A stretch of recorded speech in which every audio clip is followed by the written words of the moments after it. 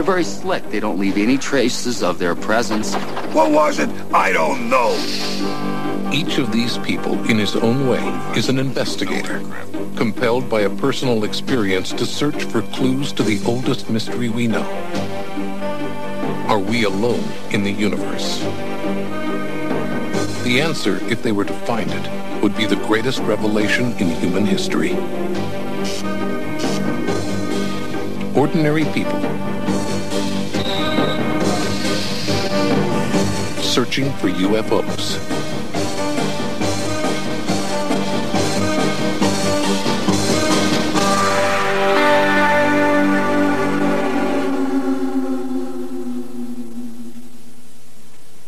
Meet Ray, retired weapons analyst, researcher, and teacher.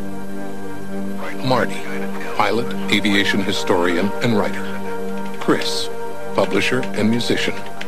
John, self-taught electronics expert.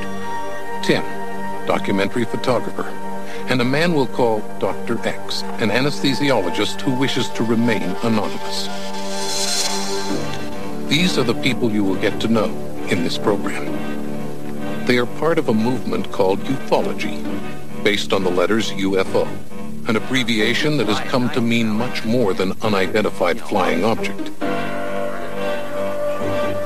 Ufology is many things to many people, but to these people, it is an investigation. Each of them had an experience that makes no sense, an experience that changed their lives. Ever since, they have been seeking clues to understand what happened to them. In the process, they find themselves grappling with a much larger question that affects us all. Is there life elsewhere in the universe?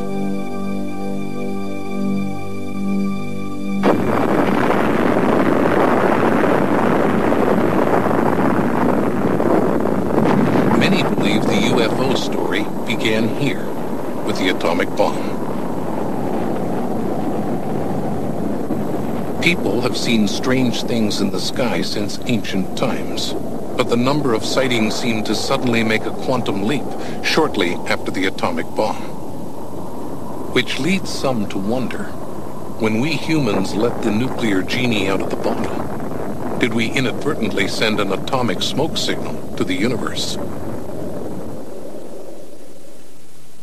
Shortly after the atomic bomb ended World War II, a wave of UFO sightings hit the U.S. It began with a private pilot named Kenneth Arnold. The Associated and United Press all over the nation have been after this story. It's been on every newscast over the air and in every newspaper I know of. And this afternoon, we are honored indeed to have here in our studio this man, Kenneth Arnold. Go ahead, Kenneth. They seem to flip and flash in the sun just like a mirror in such a way that it, it almost blinded you when you when you looked at at them through your plexiglass windshield. It's just as much a mystery to me as it is to everyone else who's been calling me the last 24 hours wondering what it was. Kenneth Arnold had no name for what he had seen, but when his story broke, the press came up with one. Flying saucers.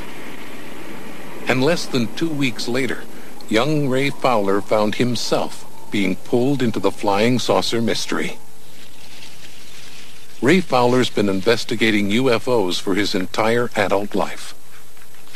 My interest in UFOs goes back to my teen years. I was extremely interested in astronomy, and I was interested in experimental aircraft and our experiments with the V-2 rocket and space travel. So when UFOs or flying saucers or flying discs hit the headlines back there after Kenneth Arnold's sighting on June 24, 1947, I began, began collecting articles and reading about these strange objects. My interest peaked when I was working on a farm in Danvers on July 4, 1947, and something made me look up. And I th- thought I saw a parachute coming along, and as it got closer, I saw no shroud lines, and it got still closer.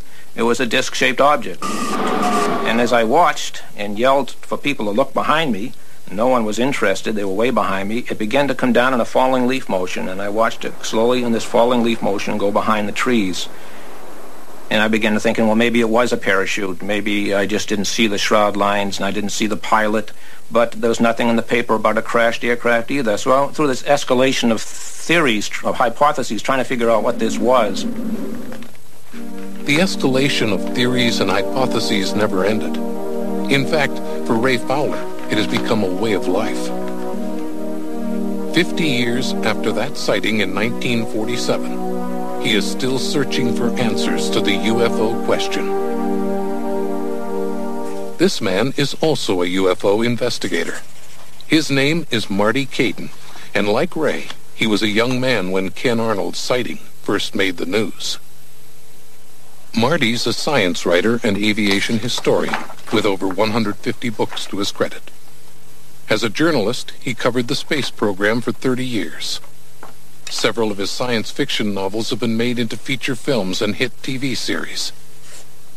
He's won every major aviation and space writers award there is. But most of all, Marty Caidin is a pilot. Clear.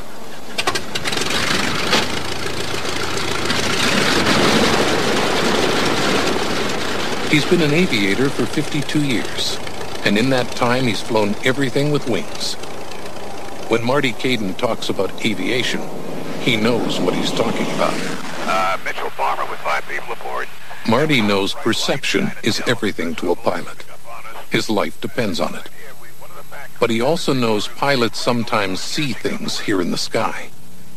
He knows because it happened to him. We were flying along in a twin-engine bomber very much like this one. Now coming south through Florida, and uh, we're just about the same altitude, a few thousand feet above the ground, when suddenly one of the men in the back of the airplane reported that we had a bright light coming down toward the aircraft behind us. Closer it came, the more it looked like a disc instead of just a light. It was a disc reflecting sunlight. And it came from behind us over here and came rushing up and then suddenly it dove and passed beneath the airplane. So we're looking down and there goes this thing along the ground and we can see the shadow of the B-25. We had a wingspan of about 72 feet. This thing was twice as wide as a B-25 and we could see its shadow clear as a bell on the ground and there we were right after it. We said, let's try and pull up alongside, see what the hell this thing is. The closer we came to it, the more it pulled away from us. Even pilot's eyes might mistake a flash of light for a solid object. That's why radar is an aviator's best friend. We called Patrick Air Force Base for the radar tracking. He picked up two targets, us and the disc. And finally that sucker just took off at about 4,000 miles an hour. We were preparing to try to catch it. We pulled up, went down, went around. And Patrick said, forget it. He's gone. Gone, but not forgotten. What was it? I don't know. I'd like to know what it was because I've been flying for 52 years. I've been flying over oceans, deserts, mountains, seen all kinds of things in the air, and this one is totally, absolutely baffling. And so a movement is created, one by one. Isolated individuals have an experience they cannot explain. They find themselves drawn into a mystery that even 40 or 50 years later still holds them in its grip. Ray Fowler, Marty Caidin, citizen investigators, searching for UFOs.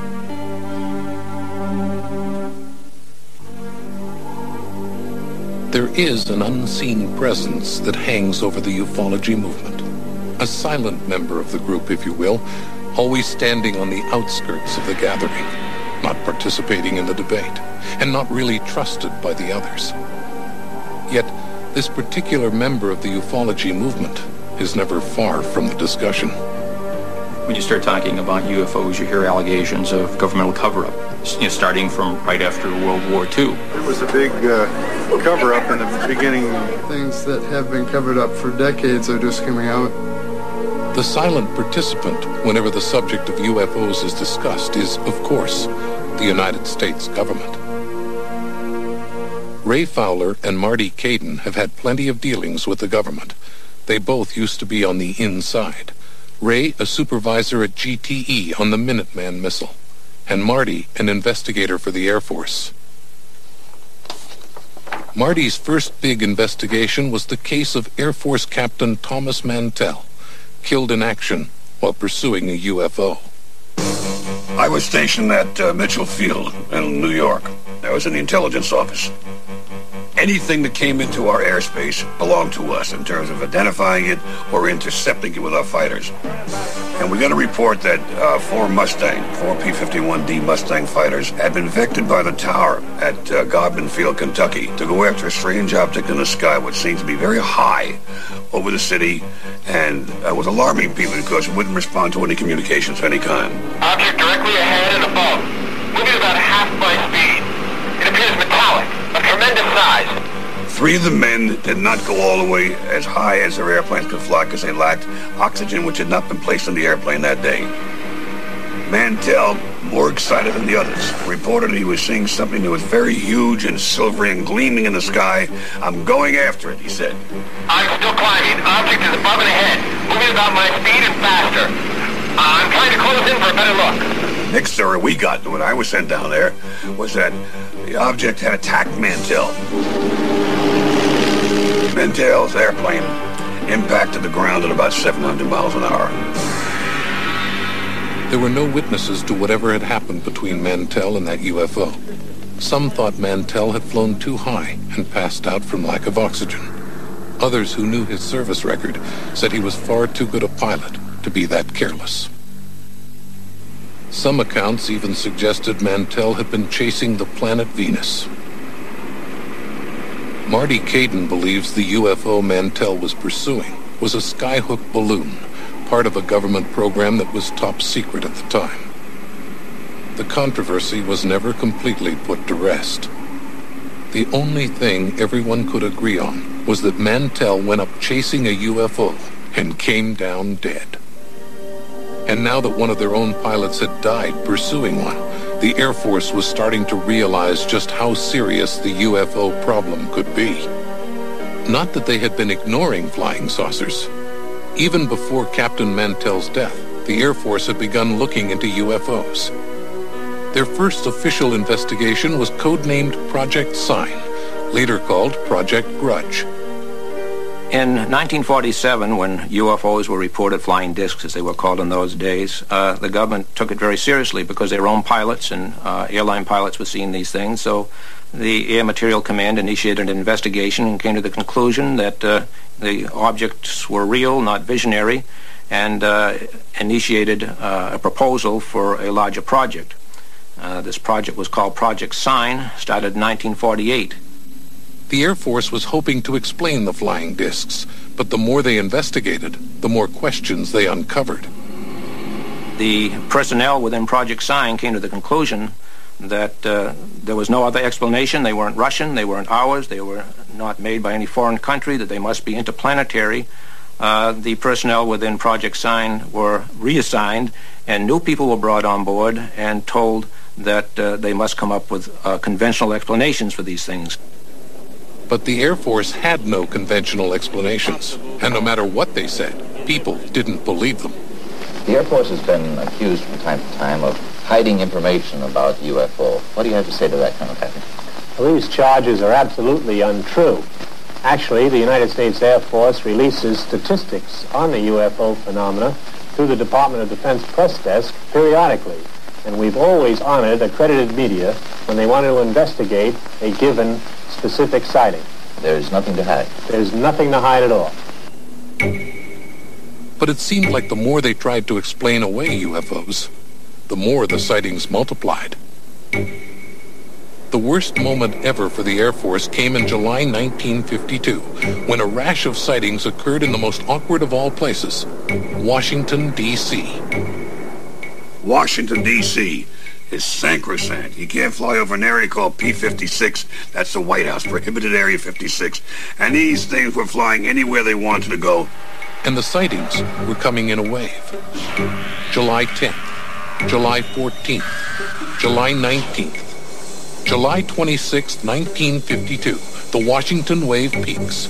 Over 40 years later, that night is still clear in the minds of two men working in the tower and radar room at Washington National Airport. For air traffic controller Joe Zacco and radar operator Ray McInnes, it started with a sighting.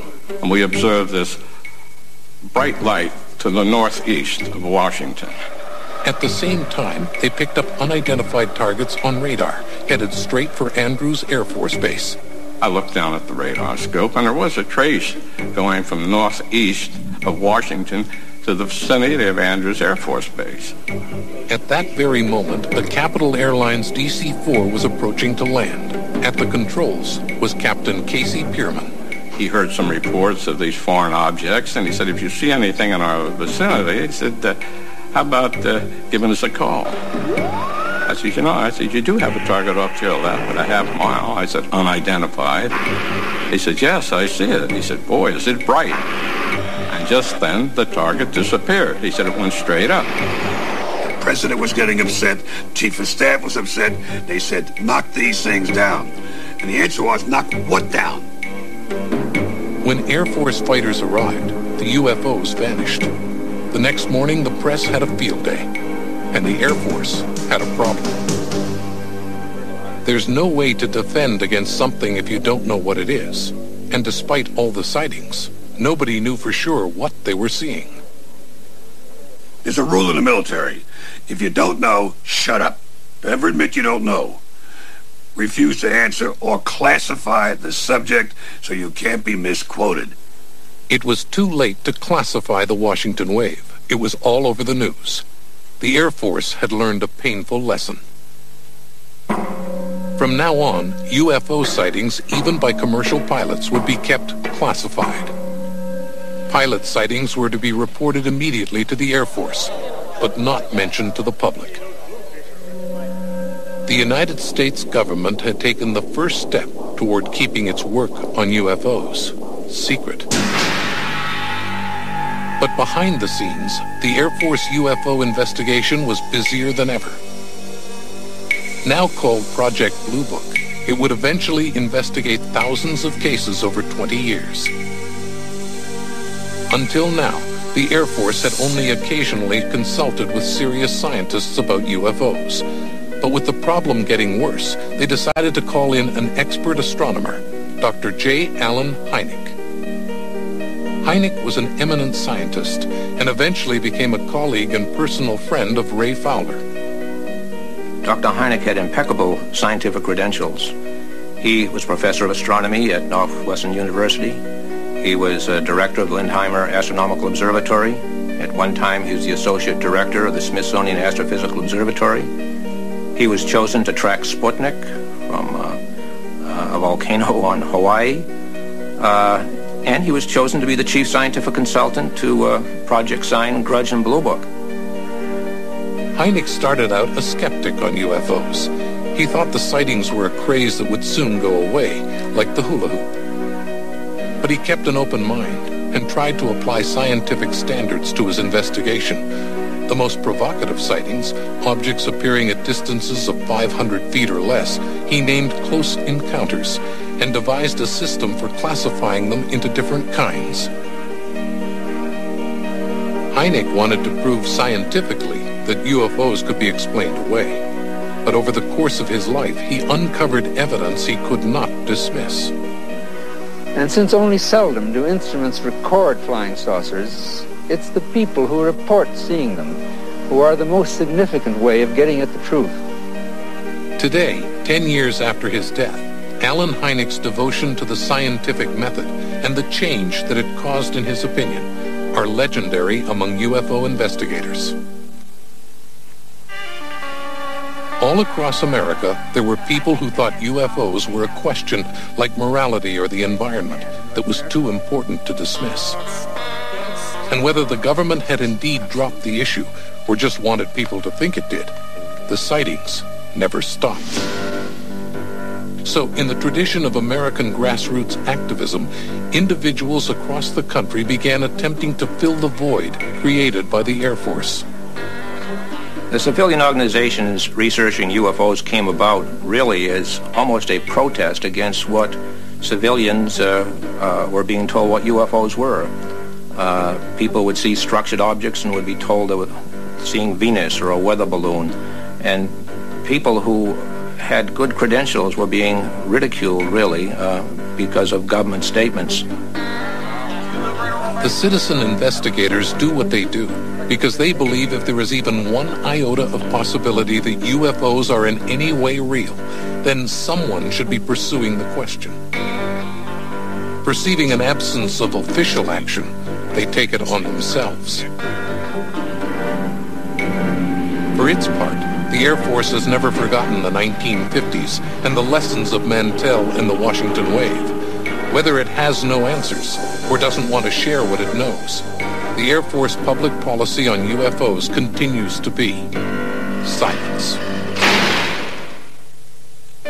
Planet Earth, home to every one of us, from the dedicated ufologist to the doubting skeptic. However we feel about UFOs and whatever we do about them, we feel it and do it from right here. Which, from the point of view of the UFO investigator, presents a formidable obstacle the lack of evidence. How does one investigate the question of life elsewhere in the universe when one is confined to our small planet? All the evidence we have seems to exist only in the mind's eye. The clues are most often anecdotes, extraordinary tales told by ordinary people. With plenty of eyewitnesses but little hard physical evidence, the heart of the UFO mystery lies in perception. This, then, is the dilemma of the UFO investigator. How to decipher evidence derived largely from perception the answer, in a word, innovate. With so much unknown, there is no single technique for investigating UFOs. Each investigator develops the tools and the methods that he or she finds most promising.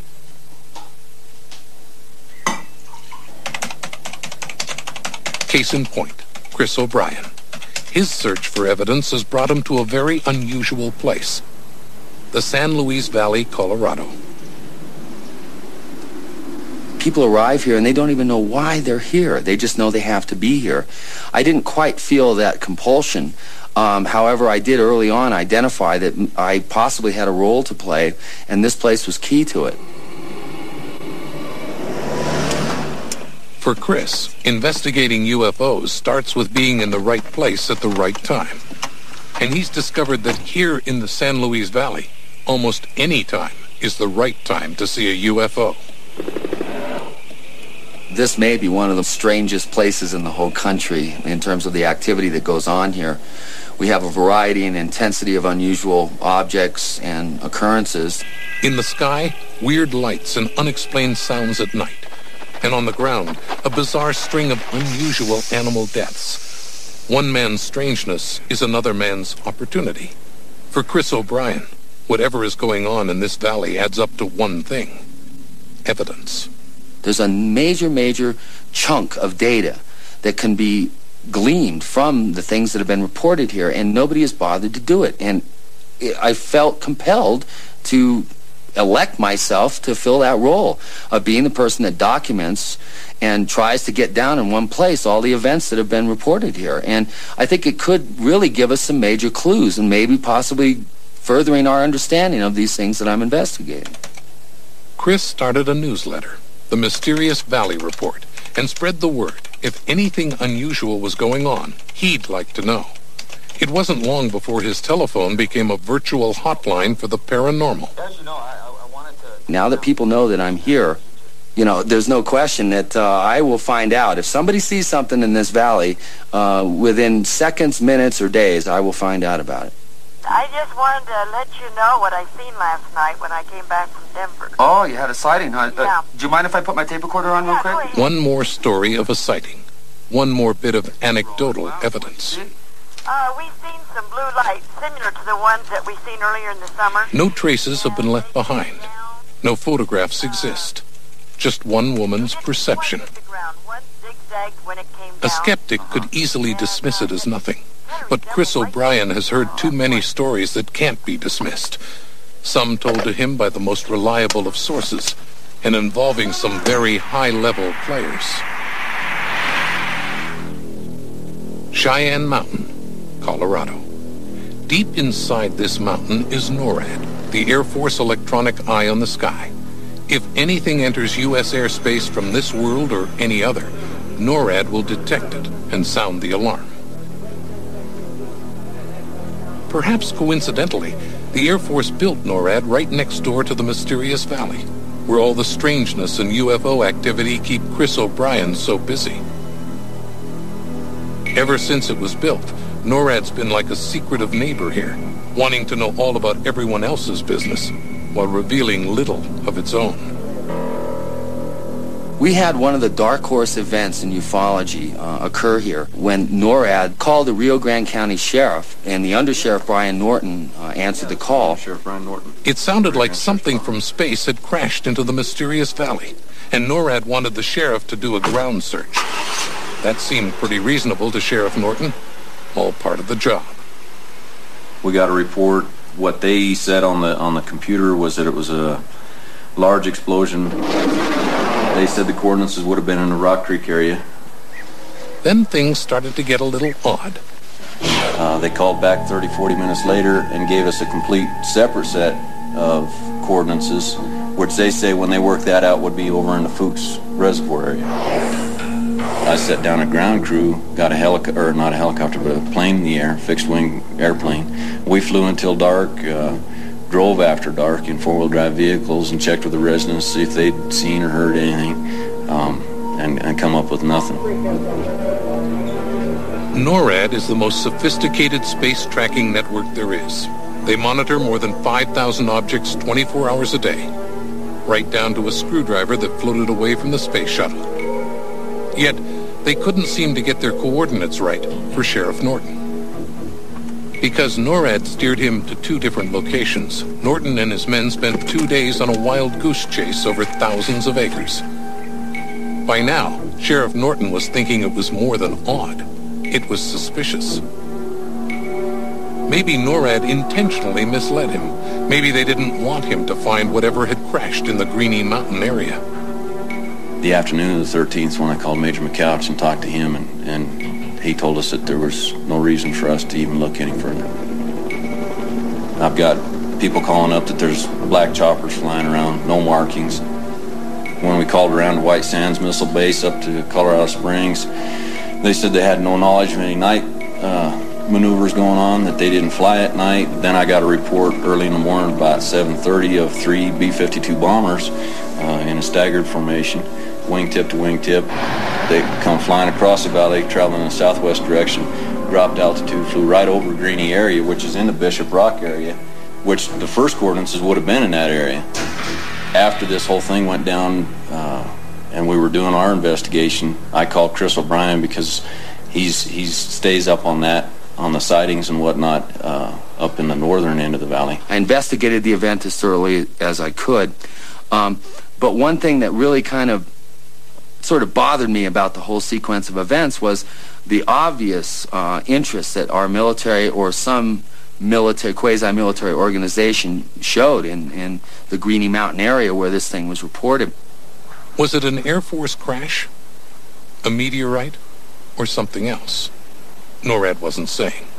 There's been speculation that it was a UFO. I believe that NORAD knew what it was. Um, like I've said time and time again, I think the, the government probably knows what it is, and they found out what it was, changed their coordinates, and they didn't want us to know what it was. Eerie lights in the sky, strange sounds at night. Cryptic telephone calls from NORAD asking for help. A sudden frenzy of secret military air activity, and then silence. Whatever it was had been taken care of. There's a lot of people in, in my county jurisdiction that would like some answers. For the Air Force, it was all over. End of story. Forget it ever happened, NORAD said. Under Sheriff Brian Norton is no ufologist. He's just a guy trying to do his job. But here in the mysterious valley, even a county undersheriff, whether he likes it or not, finds himself drawn into the mystery of UFOs. As for UFO investigator Chris O'Brien, the NORAD event was just one more puzzling case. One more set of clues that indicate something's going on, but don't tell the whole story. Yet another reason to keep on investigating. The very same kind of nothing was being seen in Michigan in 1966. Only then the Air Force called it swamp gas. No, we, I could, when you on looked at ground. it through the binoculars, it was like spherical, and there were two Yeah. red lights at the Yeah. sun, and a real pale, it looked like green light That's- at yeah, that. but and that it was up- ellipse. Yeah. We, first I thought it was a helicopter. An entire dorm of co-eds and their dean saw something hovering in the night sky. Also among the witnesses were a dozen cops called to the scene. The bottom was a bright red. started from the marsh. With all these witnesses, the story got big in a hurry. So the Air Force called in their scientific consultant, Ray Fowler's friend, Dr. J. Allen Hynek. It became a case that Hynek would long regret, a case where he found himself doing more public relations than investigating. Well, the uh, Project Blue Book at Wright-Patterson Air Force Base uh, suggested that I might come here and uh, get a line on what has been going on. He was actually there to give a line, the Air Force line. Hynek uh, got up in front of the cameras and said that what was seen uh, at uh, Michigan was swamp gas. This was one of the sightings that certainly would never have matched swamp gas, which is uh, very rare in any account. And there was wind that day, and, and swamp gas would be just little, little pieces of flame about this big going off and on. Uh, it was ludicrous. Hynek would do the best he could to convince people of the swamp gas story, but it wouldn't be easy. How much of it is a, um, a sort of spread by contagion, so to speak? Good luck, Doctor. Well, I'll need it. Thank you. For the Air Force, the Michigan case was a fire they needed put out. For Allen Hynek, it was a compromise with his principles. Dr. Hynek visited here one day at my home, and uh, I asked him about this swamp gas uh, story. And he said that since he worked for the Air Force, that uh, he had to do exactly what he was told. And Major Quintanilla said that some of these objects were seen in a swamp. Think of what might be seen in a swamp that might be misinterpreted. Tell the press about it, and then get out of town. Hynek said I did exactly that. And if I were to say anything else, I might not be able to stay as a, a consultant to Project Blue Book. The Michigan sightings were a rude awakening for Allen Hynek. They made it painfully clear that to the United States Air Force, the real priority was public relations and not the question of life elsewhere in the universe. Are we alone in the universe? With a question that big, no one has an inside track on the answer. The lone citizen investigator and the million dollar government agency are in the same boat. The only way to find out is to search. What we plan to do is systematically search all of the sky that is visible from Goldstone out in California, and we're hopeful, and we can't predict the probability of success, that we might just find uh, signals from other civilizations. Contact. Proof that we're not alone. NASA began SETI, the search for extraterrestrial intelligence, because some of the best minds in science said it was worth doing. It is now okay to talk about life elsewhere or intelligent life elsewhere, whereas a decade or two ago it wasn't okay. It was considered too speculative to be worth any investment of time. Maybe, the scientist said, just maybe, contact could happen. Life must exist in the universe, and it must exist quite abundantly.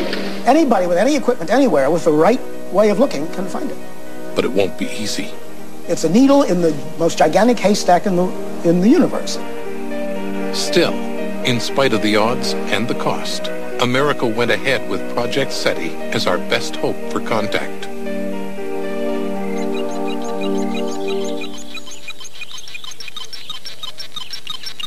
But Project SETI isn't our only hope. Not everyone who dreams of contact works at NASA. The thing I've been trying to accomplish for the last 22 years or so is to try to home in extraterrestrial intelligences and or interdimensional, whatever they be.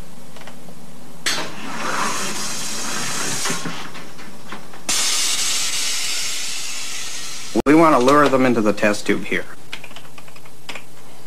Meet another UFO investigator, John Shepard, citizen inventor.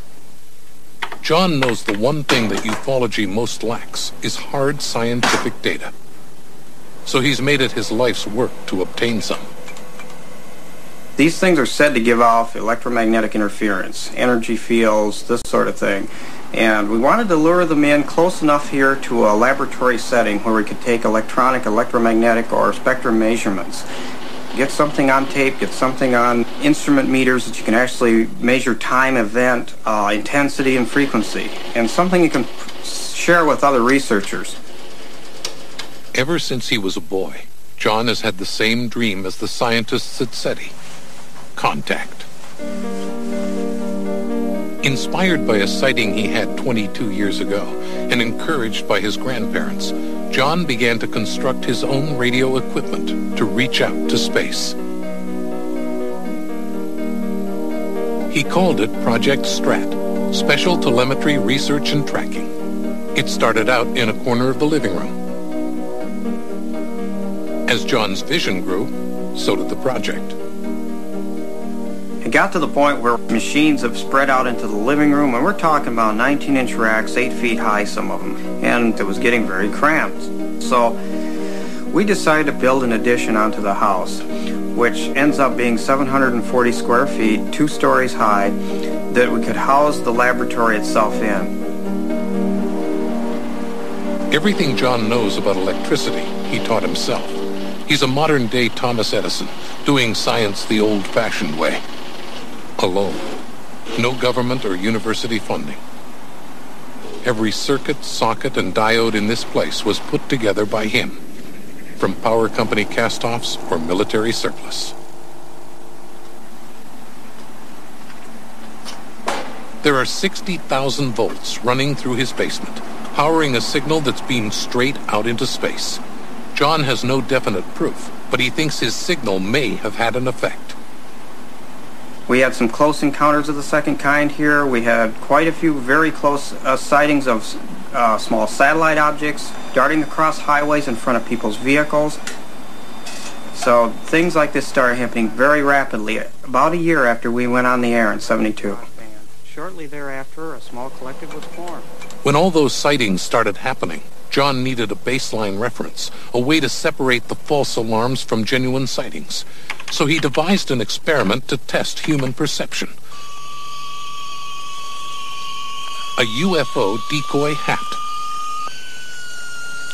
The hat is a device that allows me the ability to analyze people's psychological reaction and interpretations of a visual phenomena. With the decoy hat on his head, John goes out where he knows he'll be spotted. Then he studies people's reactions. Somebody comes along, it's night, you see something. What is it? What's your reaction to it? Are you frightened by it? Do you investigate it further? How do people react to these phenomena? This very closely relates, of course, to the UFO encounter. Well, I think that worked rather well. After an evening spent in the field, John checks with local law enforcement to see if any unusual sightings were reported. The reports reveal a lot about perception. And in asking some of these people later what they saw, they described things, some of the objects as big as 50 feet in diameter. And this was the hat, without a question. But the heart of Project Strat is the broadcast operation. Every day, John beams two signals out into space. One, a digital pulse code, and the other, a live radio show. These are the bait he uses to try and lure UFOs into the area. There are no sponsors, no commercials, maybe even no listeners. And we wish you a good evening and a good night, in peace as always. But just the possibility that something out there might hear and perhaps respond keeps John going. I really believe that in expanding our consciousness, this is part of what we must now deal with. As we've matured and developed technology and gone outside of our own world, we've also opened up the possibility that there's other intelligences all around us, that there are other life forms out there. Whether they're friendly or hostile, we need to be prepared. We need psychologically and technically to be ready to, to, to confront this or deal with it as it appears, or we may be an extinct species. Seven days a week, 365 days a year for 22 years. He has no help and he never calls in sick. The door is always open at Project Strat, And John is there, waiting for contact.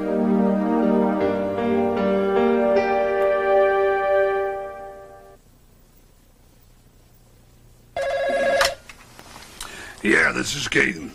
A telephone call from a fellow aviator. Ernie Wilson. And so, for Marty Caidin, another investigation begins.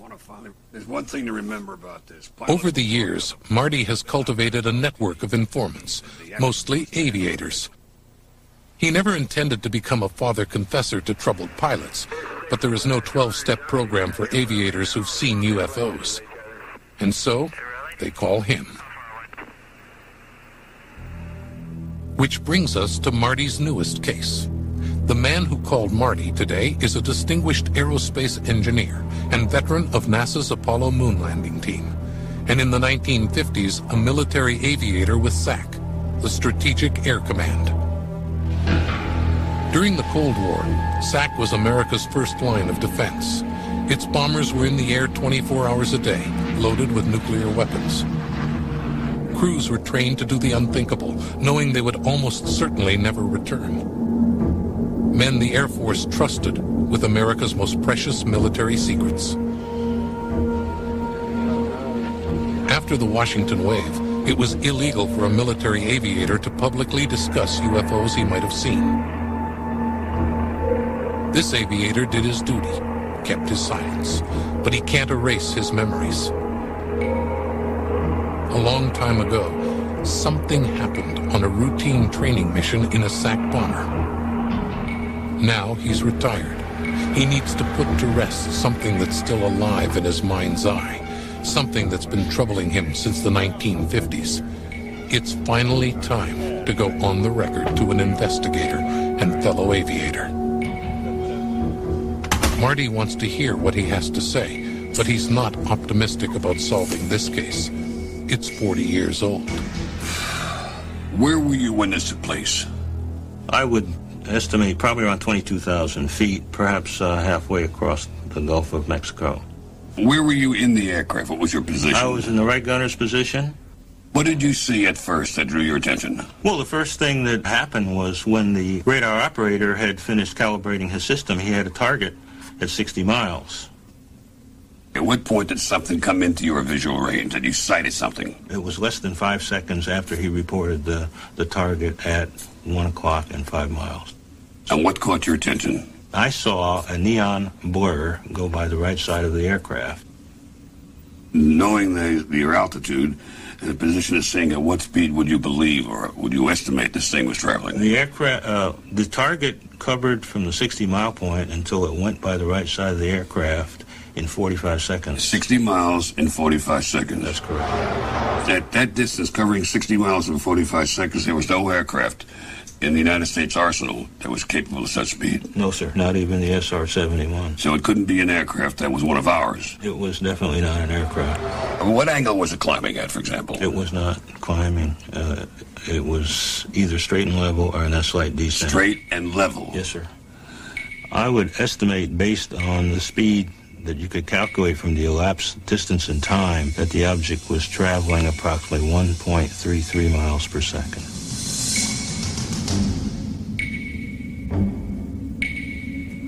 Uh, configuration-wise, it was almost impossible to tell what it was. Uh, if anything, it was.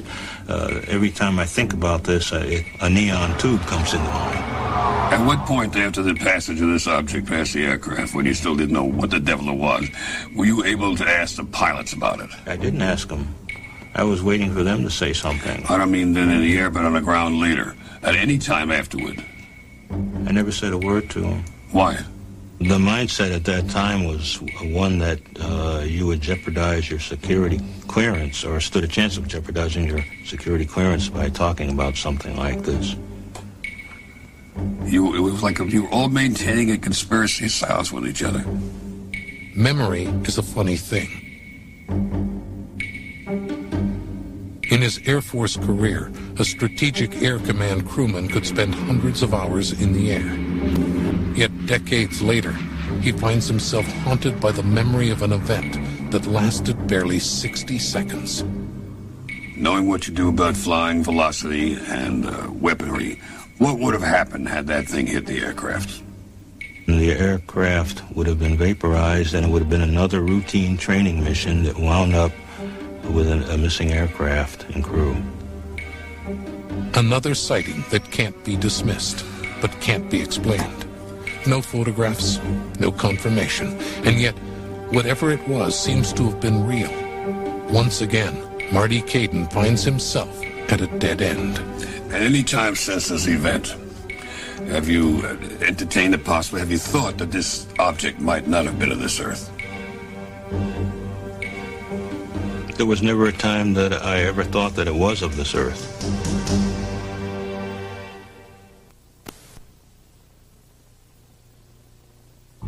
In 1969, there was a major development in the UFO story in this country, but you probably never heard of it. It involved charges of cover-ups, alleged misuse of federal funds, even a suicide. This story is about the last time our government publicly investigated UFOs.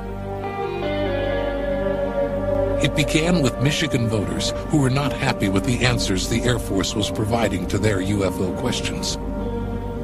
Gerald Ford, who was congressman at the time and then president, of course, initiated the first congressional hearings that contained portions that were open to the public. About the domestic issues. I think the Congress wanted a fresh look into UFOs, an objective scientific investigation that would be completely independent of the Air Force. In charge was a physicist at the University of Colorado, Dr. Edward Condon. Many people had high hopes that this would finally be an in-depth, serious scientific study. But when the Condon report came out, the UFO community was outraged. We find this Condon report incredible.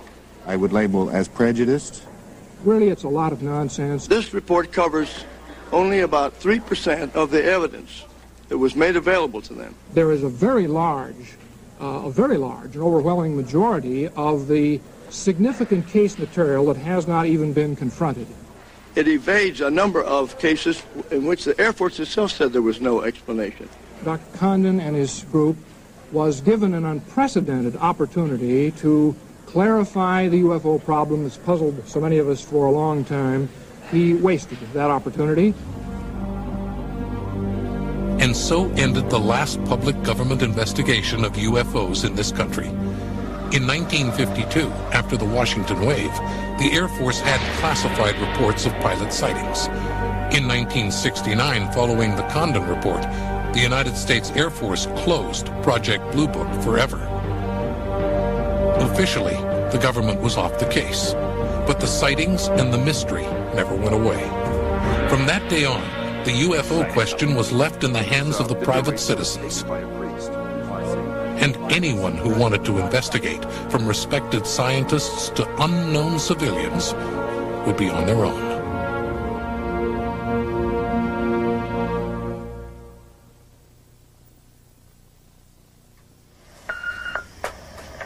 Hi, Mr. Fowler. My name is Carolyn. I live in Quincy, Mass. I'm calling about a UFO sighting yesterday. I don't know who else to call, but I... If you're a UFO investigator, finding witnesses is not a problem. They will come to you. Physical evidence might be even more intriguing, if you could find any. You had the flying discs, the daylight discs uh, that we investigated early on. And then you had what they call close encounters of the first kind, where people actually claim to have seen machine like objects, not something way up in the air, but within 500 feet. And then you had close encounters of the second kind, where these objects actually landed and left physical traces behind. Del Norte in the San Luis Valley, Colorado. A little ranching town with a big problem. In this case, there's no shortage of physical evidence. The trouble is, it raises more questions than it answers. A serial killer is on the loose in Del Norte. Something is killing the cows. And strange as it sounds, there are people here who wonder if the mystery is somehow connected with UFOs. No one knows where to turn, so they call the sheriff. The whole chest cavity was taken. Part of the part of the ribs on one side or both sides were taken. About 12 ribs. The lungs, the heart, and everything were gone. the liver was laying right on the hide part of it, uh, which any any farmer or anybody with any knowledge of animals, uh, a liver from a wild animal like that is a delicacy. When things get this strange, one of the people Sheriff Norton calls is Chris O'Brien. The photographs that I obtained and talking to Chris, it just it didn't look like a normal death to me. Cattle ranchers are used to taking care of their own problems. And you can bet the county undersheriff doesn't call for help unless he's really at a loss. So what does it take to bring local law enforcement, salt of the earth cattle ranchers, and a new age Sam Spade together? Some pretty high strangeness. Hey, there he is. Bob. Hello. Chris O'Brien. Nice to meet you. This I brought John Har. He's a uh, rancher I told you about. He. Bob, I've heard about you. Yeah. I know you from the, the post office. Well, I hear you also had an animal mutilated, huh? Well, we had three killed, four killed, one mutilated. Uh, real strange stuff. I I still don't know what to think about it perfectly, but yeah, we we had uh, quite an experience. I, I know before that happened, we didn't even really know what mutilation was and didn't really believe in mutilation, but now now we believe in mutilation. And, That's the same way I was. okay, let's take a quick hike out there.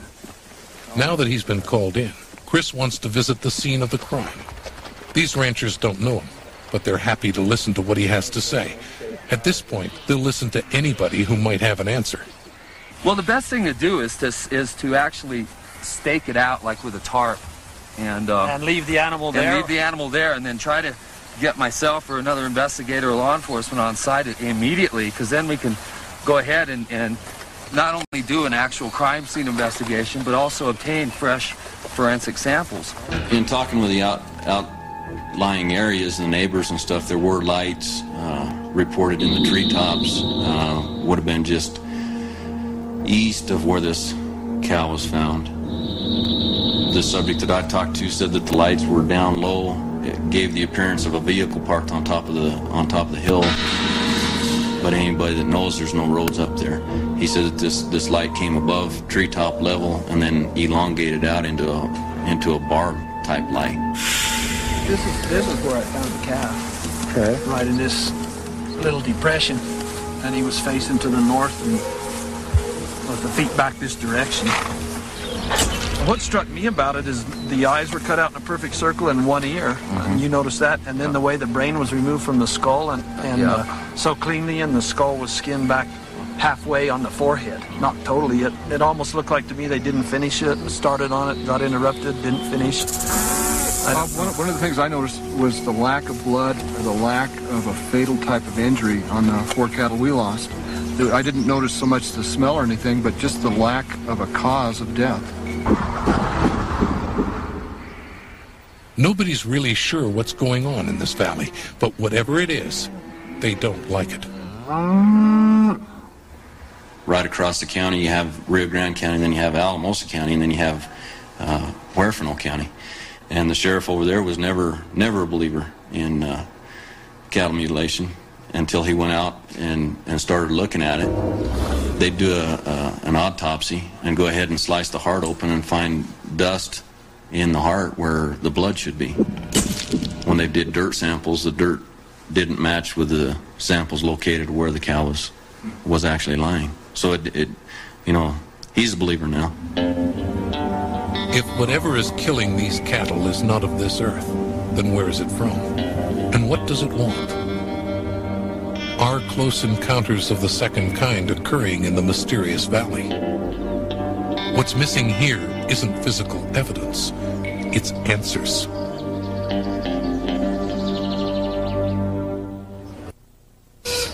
Milwaukee, Wisconsin, a thousand miles away. It's the end of a shift at the Harley Davidson motorcycle factory. For most of these people, their work is done until tomorrow. For one of them, his work is just beginning.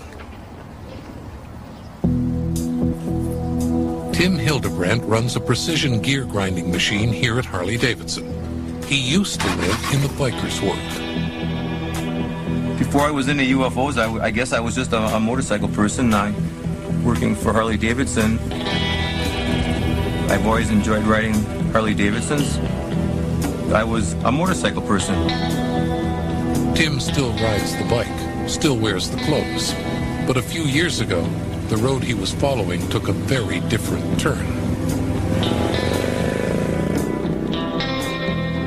In 1989, on September 10th, was the first time I ever saw one. It was um, as I was leaving work about 7:05. I saw it off to the west, and it was a very, very prominent uh, cigar-shaped silver object. That was the first sighting I ever had. Following years, when I started taking pictures.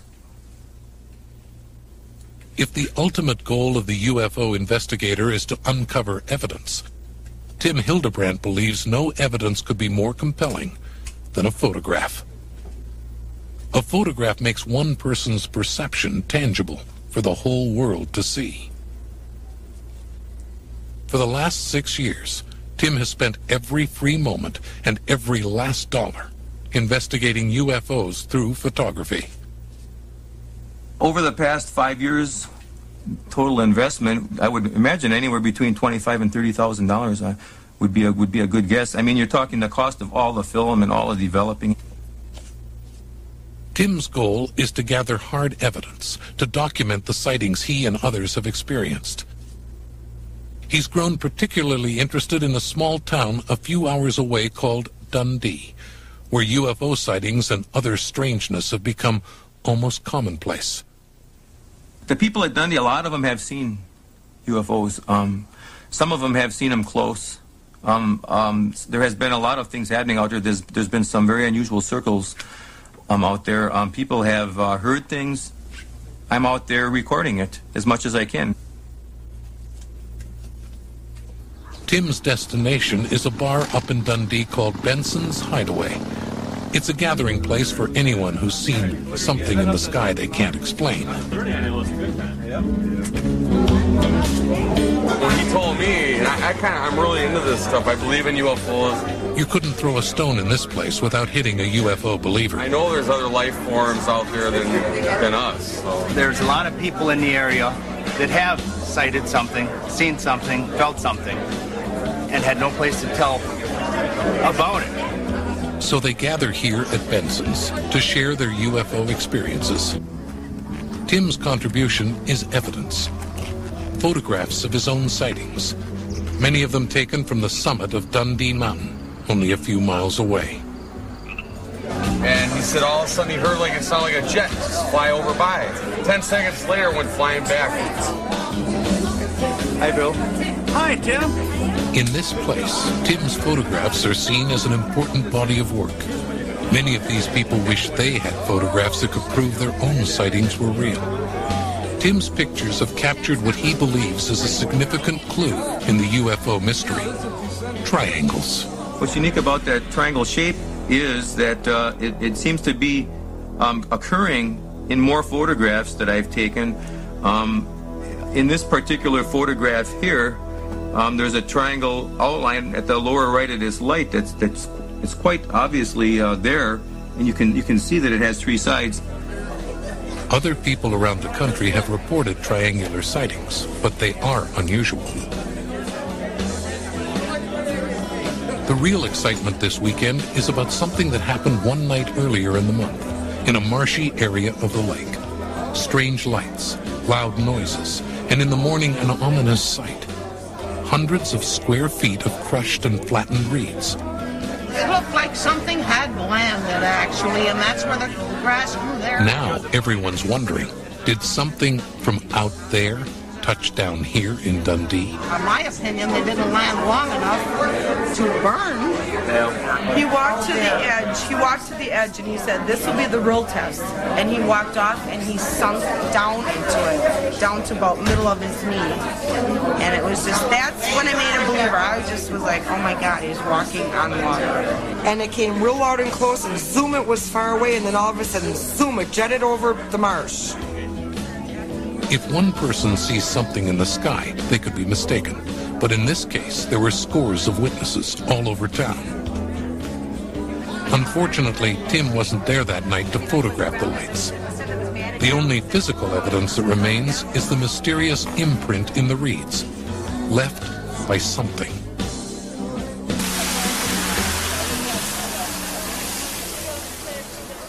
Um, our son Andy had an interest um, based on a couple of experiences that he talked about and um, I noticed this in a flyer. Not everyone here is local. On the edge of the action, there's a family that traveled down from Green Bay. They look a little out of place in this crowd, but one of them feels right at home. I was seeing UFOs. There's something wrong with this picture of a perfect American family. Little Andy's been seeing things. Mom is sympathetic. Sis is a bit skeptical. And Dad's downright confused. It was a triangle. It had three lights. They were round, and it kind of, um, like swerved and it shot down the sky until it disappeared. Triangular. The same unusual shapes that Tim has photographed. The moment Andy saw Tim's photos, he knew the trip from Green Bay was well worth it. The big event that caps the day is a hike up Dundee Mountain with Tim in the lead. Most of these people at least once have seen or heard something in the sky that they couldn't explain. Tonight, they'll have a chance to see how one investigator goes about gathering evidence. Here we are. We're going to use the 400, hopefully. Give us a little more telephoto range. Tripod is your best friend because when you're making exposures in low light, you got to keep the camera dead set, dead steady. And if you don't, you're not going to get a sharp picture. And you got to always keep them ready because you don't know when it's going to happen. You don't even know if it's going to happen. You don't even know you might come up here five or six times and nothing will happen. You got to be ready all the time. When a person has a UFO sighting, they have to make a choice. They can ignore what they've seen as if it never happened, or they can accept it. But with something as strange as a UFO, human nature makes it hard to believe even our own eyes without physical evidence. To science. But the philosopher William James said, Our science is but a drop, our ignorance a sea. Faced with questions that have no answers, the UFO investigator is left to wonder and to speculate. Part scientist, part dreamer, part detective. These citizens seek knowledge wherever they can find it. Tim Hildebrandt believes the UFO mystery goes back to ancient times. By reading all these different books, the Bible, um, many, many old books, um, it's obvious that we've had visitors all along. And the picture was that we have been visited throughout history. And we still are being visited now. Whether UFOs are an ancient presence or a modern phenomenon is only one question. Even if we knew that answer, we still would wonder, what are they? And why do people keep seeing them? At a convention center in Arkansas, scores of ufologists have gathered to compare clues and trade theories. Among those making an appearance is Chris O'Brien. He's traveled a long way. There are fellow investigators here, and Chris wants to bring them up to date on his latest case. Hey, there he is. How you doing? All right. All right. So, so you didn't get abducted this time? No, I didn't All get right. abducted this time. go. This is the strangest case I personally have seen, and one of the strangest I've ever heard about. What all's missing?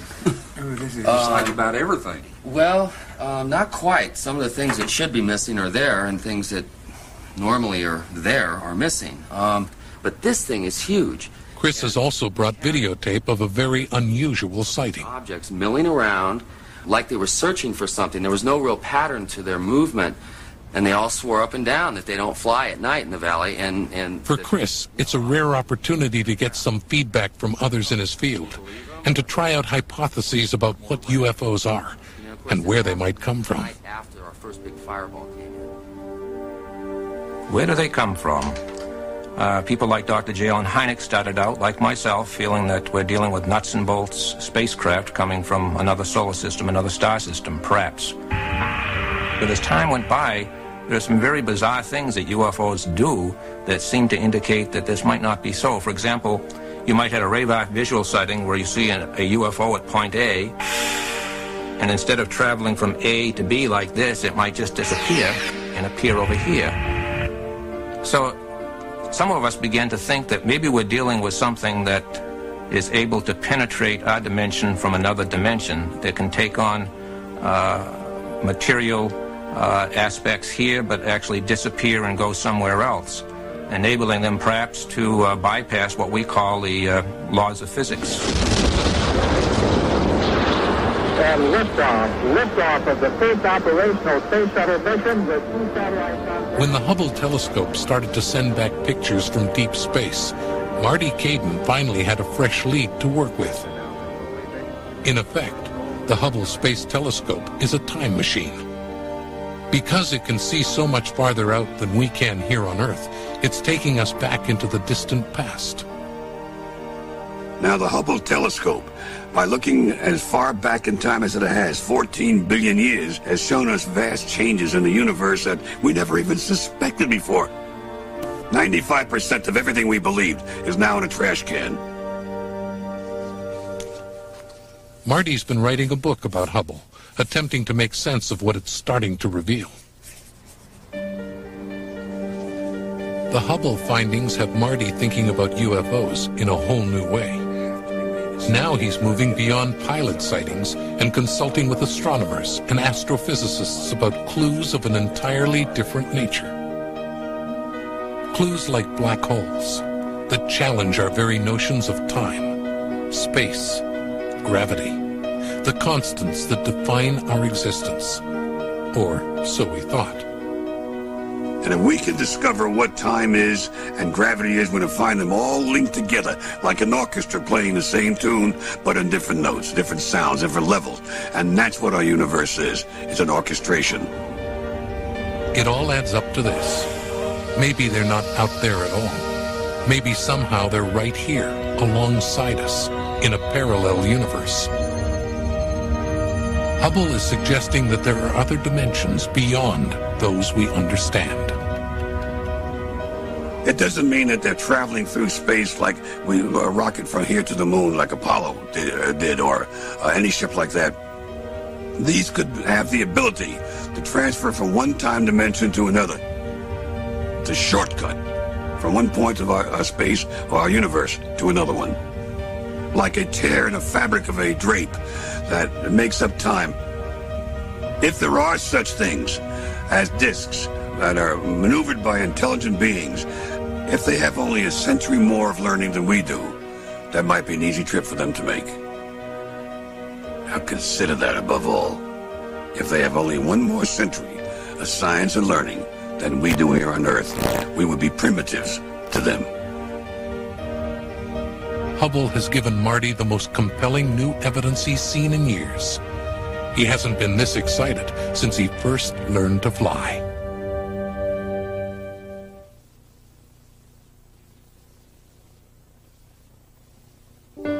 In October 1993, Congress cut the funding and pulled the plug on NASA's SETI project. The amendment I am offering today will eliminate funding for what I believe to be a foolish and wasteful NASA program, the Search for Extraterrestrial Intelligence, or SETI.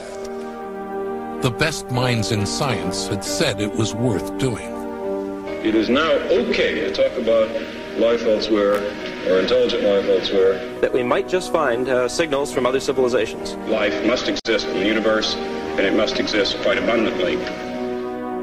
If we had made contact with other intelligent life, it would be the greatest event in human history. But there was no money in it. And even the best minds in science have to eat. So when the last government paycheck was cashed, they packed their bags and moved on. And who of us wouldn't do the same? Anybody with any equipment anywhere with the right way of looking can find it.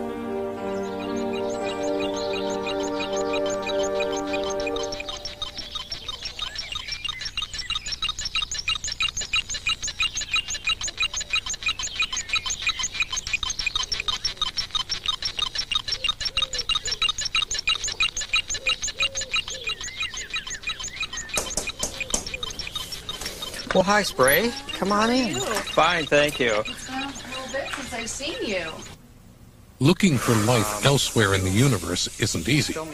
NASA's search for extraterrestrial intelligence and John Shepard's Project Strat both hit the same rock in the road money. As far as making a living here or making money doing this, no. Now, this is a copy of what I've sent out to uh, uh, the National Magazine Real Estate Today Oh, for the the, most unusual listing contest. I've run out of resources and I've had to mortgage my dream here. I've had to practically sell the, well, I am. I am selling the house and the project. Well, I think as far as the price for the land and, and the property, it's it's right up there in, with the rate of what's going on around waterfront. You know, we maybe could work on a little bit of a price reduction if you'd like to maybe generate some new activity on it. We could see about doing something like that, since we haven't gotten a lot of walkthroughs or anything. I don't think we've had any. As far as lowering the price on the equipment, I, I, I find that a little, a little hard to accept, especially since there's been 22 years put into this. I really would like to at least make more than five bucks an hour for all the years I put into it. I'm lucky to pull down 450 a month. I'm doing real good if I, I can generate that kind of income, and that's not from the UFO related things. That's that's from my own business ventures and my own efforts, contract uh, related. I do not have uh, any investments hardly left. I used to be in the stock market, made good money there for a while, and invested it into the instruments in this lab in this facility. Sure did. So now, after 22 years, John is selling his dream, ending his search. The questions Project Strat has been investigating are still unanswered. It's a painful decision. I love the work. The work is, is my life. But money is real, and you have to have it to pursue a dream. It doesn't just As happen. far as the equipment goes, John, I mean, But I feel that we did accomplish some things. I don't think it was a lost cause. I don't think we wasted our time or our energy. I think there's some good stuff that's been contributed for, to the Center for UFO Studies to move on to the symposiums, to other people that are involved in the research. John hopes to find a buyer who shares his passion to know what's out there. Someone else who dreams the dream of contact. Someone who will assume the burden of running Project Strat year in and year out. But he knows the chances of that are pretty slim. There are many who give lip service to the dream, but few indeed who are willing to pay the personal price of dedicating their lives to its pursuit.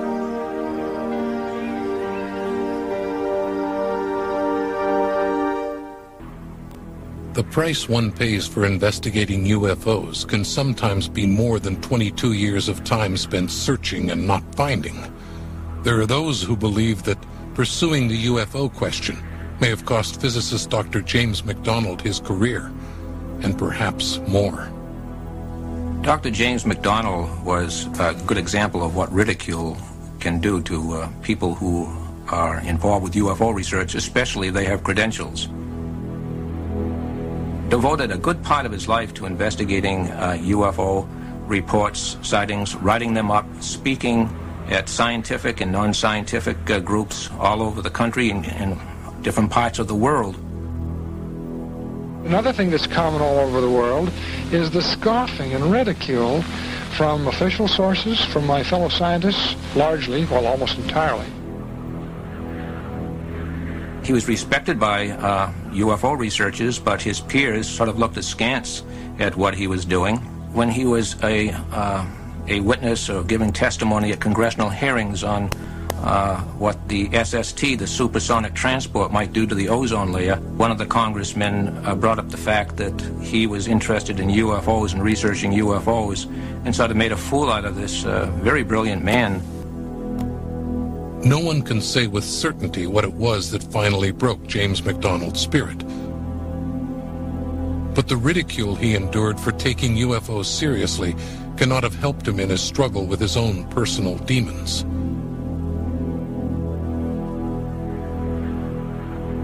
In the early morning of June 13, 1971, Dr. James McDonald walked into the Arizona desert. An hour before dawn, he put a gun to his head and ended his life.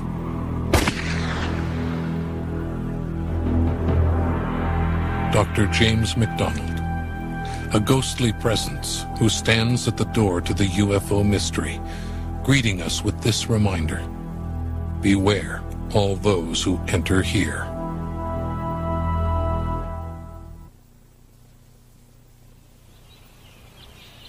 So, have you gone through one of these hazardous events? What is it that's your experience? You know, there would be episodes of, of anxiety or things like that at night, uh, night terrors, if you will. A support group somewhere in the Midwest. These people have gathered with their therapists to talk about a problem they all share, something they can't discuss anywhere else. Some have traveled hundreds of miles to be here. They're not talking about relationships, alcohol, abuse, or any of the other issues that concern most support groups. They're talking about alien abduction. I heard a voice say, Francis, we want you. And I can remember being so scared that I was cowered right down to the floor. Alien abduction. Yeah. Do you have any Some believe that the twisting trail of UFO clues ultimately leads to this. For those who are convinced it is happening to them, there is no escape. All these odd things had happened to me, and I thought, well, Perhaps because these people feel powerless to resist. They go to extraordinary lengths to accept it, even make peace with it. learning to become more and more comfortable with them and I no longer feel poked and prodded and abused. I feel participation on a certain level, and the fear is disappearing. I'm starting to make peace with the experiences that I'm having, and they do let me know that they care about me, that they are kind and gentle and loving, which is sometimes hard to imagine. But there is one man here who cannot accept what's happening. To him, the experience is a nightmare, and he thinks the others in the group are rationalizing, deceiving themselves when they call it a positive experience. This man is a medical doctor, a scientist like James McDonald.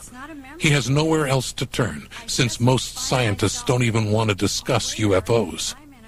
But the talk here isn't making him feel much better. Before, most of you folks have said how wonderful the experience is, and yet you talk about trauma and terror at the same time. I don't feel like I'm the victim anymore in this. I feel like it's something where I'm growing and I'm becoming a better person for it. Right, but it could still be, you know, you could have a healthy reaction to an adverse This man of science knows all too well the lesson of James McDonald. If any of his peers overheard him talking seriously about UFOs, he would lose his professional reputation and credibility. So he refuses to reveal his identity. The people in this support group at least take him seriously, but it's their positive view of the subject that bothers him. Take a lab rat, you know, he, he spends his life in a cage and then he dies for some medical experiment to advance what? Humanity. I mean, the same scenario could be for some other alien intelligence using us in much the same way. I like not to think that way, but This UFO investigator is compelled by more than curiosity. His motivation is fear. In his case, he is not only the investigator, he is also the victim. To add to his problems, the evidence exists only in his mind. He's well aware that this makes him hard to believe. Close encounters of the fourth kind, where people are actually abducted, we felt that these people were crackpots. I said, how can these nice people uh, lie with such straight faces? And we felt that it, it was it just couldn't be. It just couldn't be. So it took a long time for UFO researchers like myself to come to the conclusion that these things are really happening. The man we call Dr. X has no doubt that something really is happening. These people have flashbacks or dreams or partial memories of a UFO abduction experience. They're troubled, they don't know where to go. I went to the encounter group hoping to find people like myself, perhaps with a similar background that I could identify with that have shared something similar. I seem to not be well received by the other members of the group, so consequently I feel every bit, if not more so, isolated when I go to the support group meeting, uh, as I do in my workplace. That state of mind. People at work, unless you selectively screen who you're talking to, for the most part, don't want to hear about it. My wife does not want to hear about it whatsoever. Four years of college, business school, medical school. A doctor trained in the scientific method. He functions in a rational, tangible world of measurements, tests, controls, results. He's used to having the answer. Typically, people that are scientists, or at least have a science background, are not at all receptive to this phenomenon. I really believe that it makes them feel uneasy to even possibly contemplate that it might there might be something to it. This man of science is haunted by an experience he had 20 years ago, an experience science cannot explain. On a routine drive, several hours of his life disappeared. To this day, he's not sure what happened. Fraternity brother and I were in graduate school in Michigan, and we were returning to our undergraduate fraternity in Virginia. We uh, left Ann Arbor in the afternoon. We took back roads, which is something that I have not done before that time or after. And we got into Ohio. It was dark, early evening.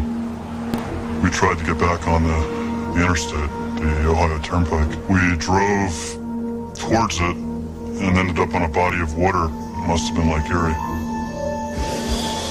It was a desolate area. There was nothing there but a, the end of the road and a street light.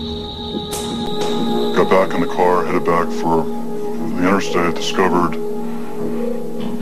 to uh, our dismay that the road we were on had no entrance ramp to the interstate. That's it. That's the last thing either one of us remember. It's now just before dawn. We're traveling on Interstate 81. We've just crossed into Virginia across the state line. And we both, at the same time, are emerging to wakefulness.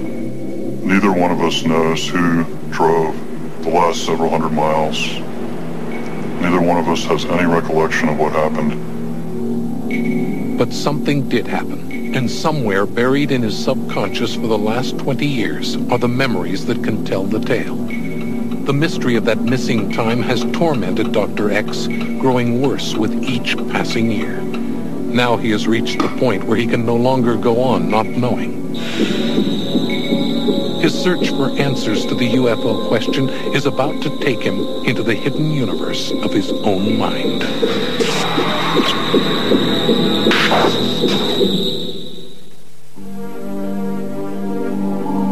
For the last 20 years, Dr. X has been troubled by strange, hazy memories of something that happened on a long drive during graduate school.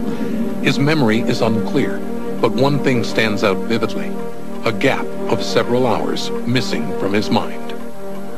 The typical benchmark of UFO abduction cases uh, we call missing time. Missing time, a contradiction that defies logic. No one knows that better than a man of science. We went from west of Cleveland to Virginia, and neither one of us knows who drove. Our consciousness ends and begins at the same two points, uh, with no explanation. The people are going to see say, where have you been? You know, at such and such a time. And they look at their watch and see there's maybe two hours missing. If we did fall asleep, we should have been on the side of the road, crashed into a tree, or had some sort of memory, but we have neither. We just safely found ourselves waking up at the same moment, hundreds of miles away from where we last remembered anything. Hours of time, hundreds of miles, gone without a trace. Impossible, and yet it was all too real. Somewhere, buried deep in his subconscious, was a memory so horrifying that his conscious mind refused to allow it in. I was morbidly depressed for quite a while afterwards and was at a loss to explain why. I slept easily 12 to 14 hours a day and had an abrupt change in my, my habits that I couldn't account for. To the UFO investigator, missing time is like the tip of an iceberg. It points to the existence of crucial clues hidden beneath the surface of the mind. What is needed is a tool for retrieving those missing memories. Hypnosis.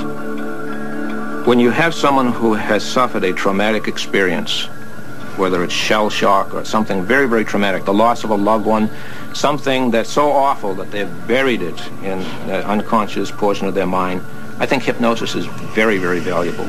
Uh, and it opens the doors for these things to come out. But with this warning that the strange things that you do remember that give you so much trouble now might be multiplied tenfold if you really did have a UFO abduction experience and all these things become part of your conscious memory. It'll be like opening Pandora's box. You'll have more questions for which there are no answers. I decided that I would undergo hypnosis to see if I could un uncover particularly what occurred uh, that on that trip uh, when I was in graduate school in 1975. And so he took a chance and opened Pandora's box.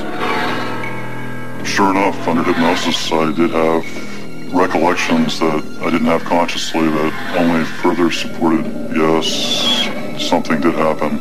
Sometimes it takes two or three sessions to get that traumatic experience to come from the unconscious mind to the conscious mind. Again, it might just come out the first session. Uh, at the first session, I had nothing more than a, a physical reaction. I laid on the chair and I started tremoring horrendously to the it resembled a seizure. In my mind's eye, I had the almond eyes of an alien in front of me. I couldn't break through that at a subsequent hypnosis session.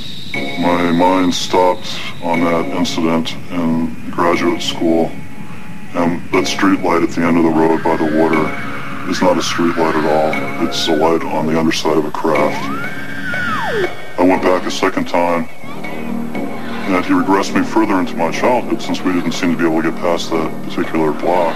Sure enough, I'm in my elementary school playground. An enormous darkness covered the, the field. It was like an eclipse, and storm clouds moved over very rapidly.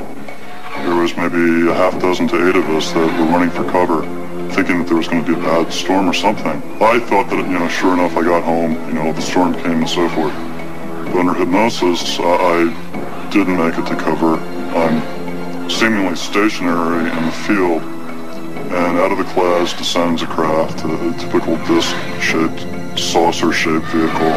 A ramp descends from the underside of it. It appears to be an entity kind of shuffles down, and, and that's all I wanted to remember. Perhaps knowing is better than not knowing. But whatever comfort his new knowledge has given Dr. X, it has also raised new fears. Uh, I never used to pay attention to the sky. And suddenly, uh, the sky is intimidating. I constantly am scanning the sky nightmarish memories from his own childhood are bad enough. But even worse is the possibility that the experience may be repeated with his wife and young children. Like many ufologists, Dr. X has come to believe that alien abduction runs in families. Case after case, we have females where it seems that ova is being taken. We have other cases where fetuses seem to be taken from women who are used as surrogate mothers. We're talking about what looks like a genetic engineering interest or program. I'm scared for my kids, but there's precious little I can do to help them. It's created some tense feelings between my wife and myself. I say, if it's happening to me, there's a good chance that it's going to happen to our children. This makes her extremely uneasy to the point of we've terminated some uh, evening dinners rather early on some bad terms. A man who appears to have everything in life is tormented by a mystery that began with a strange light in the night sky. And he is not alone. For every story we have heard of a sighting or a slip in time, there are thousands more. Is it all real? Is any of it real? Are these strange tales the product of hallucination, deception, or something else? The UFO mystery continues to confound us. And even those who might prefer to dismiss the question, sooner or later find a clue they cannot ignore. On August 7, 1996, the scientists at NASA announced they had found just such a clue. But we're here today to provide exciting scientific findings and to lay out compelling clues that lead us to the direction that we think life might have existed at some point on Mars. Is there life out there? The search for answers to the UFO question continues.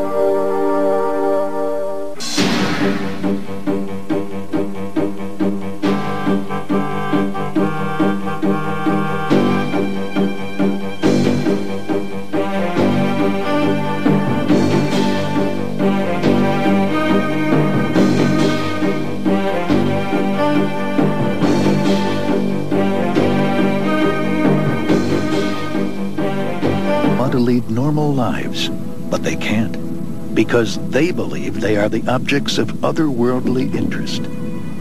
They are convinced that something not of this earth has abducted them. Their story starts with a sighting. Huge sphere of light.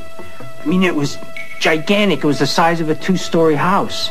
Then hours vanished from their lives, missing time. My next conscious memory was landing very hard in the vehicle on the road, as if I'd been dropped from above. I'm missing about an hour and a half, and I could not account for.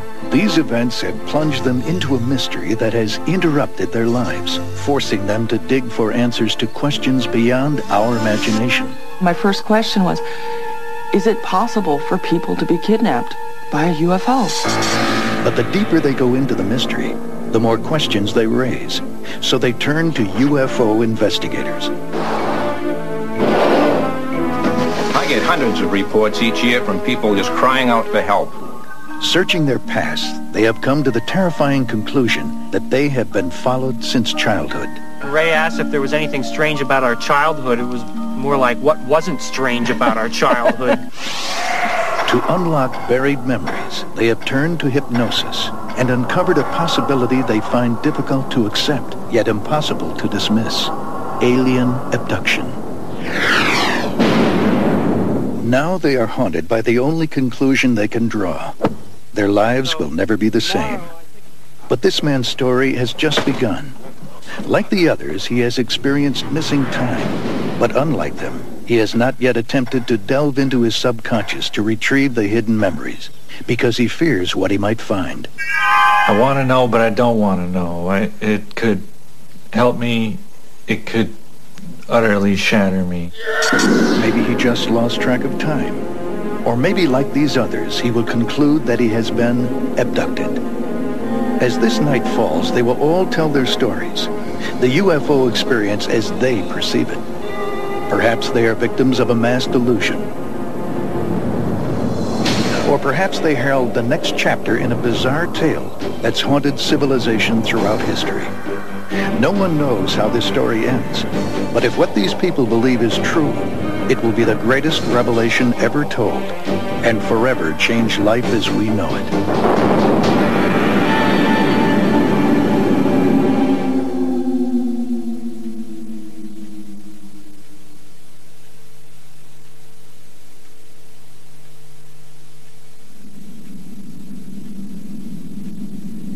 Are we alone in the universe? It's one of the greatest mysteries of all time. For eons, humans have seen things in the sky and wondered, is someone coming? The story of UFOs is unending, and it grows stranger with each decade. And in the last 30 years, there has been a riveting new twist. Alien abduction. Abduction. It's the most bizarre and unsettling wrinkle in the UFO mystery. No one knows exactly how many people claim to have been abducted, but the number has grown steadily larger in the years since the first reports began to surface. Betty and Barney Hill, one of the first classic abduction cases. In the early 1960s, the couple, a social worker and a mailman, reported being followed by an aircraft while traveling in New Hampshire one night. They saw a bright light and realized afterward they could not account for two missing hours. At first they tried to ignore the event, Then Betty began to have terrifying nightmares. Buried in her subconscious were memories of being taken aboard an alien ship and examined. Most people who heard of the case were unwilling to journey into such bizarre territory. But defense analyst Raymond Fowler and astronomer Dr. J. Allen Hynek heard the Hills account personally. Both men were scientifically minded and considered themselves skeptics. But they were about to undergo a transformation of their beliefs, a transformation so profound that each would eventually become a legendary UFO investigator. Uh, I remember I listened to the Hills give their testimony before they were investigated. And they gave it to a small group. And I was sitting there with a fellow investigator looking at these people, and we sort of looked at each other, and I said, how can these nice people uh, lie with such straight faces? And we felt that it, it was it just couldn't be. It just couldn't be. About it, they, they earnestly and fully believe that this happened to them. And certainly something did happen to them. But whether it was an actual physical case of abduction, we just don't know. But reports from seemingly credible sources kept coming in. Reports that all carried the same benchmarks. Someone sees a bright light in the sky. It overtakes them. The next thing they know, hours have vanished from their life. They try to ignore the incident, but find themselves haunted by bizarre nightmares or strange childhood memories. If we only had one or two cases uh, where people have relived complementary abduction experiences with the same benchmarks, uh, we may say this is a remarkable coincidence. But we have hundreds of people who go through the same experience, sometimes in the same order, seeing the same things. Calling about a UFO sighting yesterday. I don't know who else to call, but I've been familiar with your work for years. Yet it's not something... And as the number of reported cases has grown, so too has public interest in the strange phenomenon of UFOs. Today, more and more people, like Ray Fowler and the late Dr. Hynek, feel compelled to investigate the question of alien abduction. Now retired from the defense contracting business, Ray devotes much of his free time to investigating and then publishing abduction reports. There's no shortage of work. People keep turning to him for help. These people have flashbacks or dreams or partial memories of a UFO abduction experience. They're troubled. They don't know where to go. They try to talk to their friends, their ministers, and so forth, and no one really will listen to them. And they come and they ask me to listen, and I listen. Sometimes Ray launches a full-scale investigation, attempting to uncover what happened during an episode of Missing Time. Ray did just that when Jim Weiner approached him for help.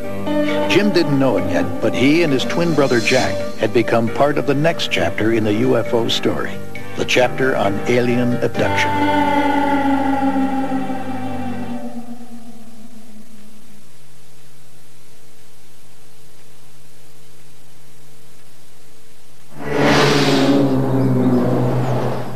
The people you're about to meet once led normal lives, but something interrupted those lives. They believe they've been abducted by otherworldly beings.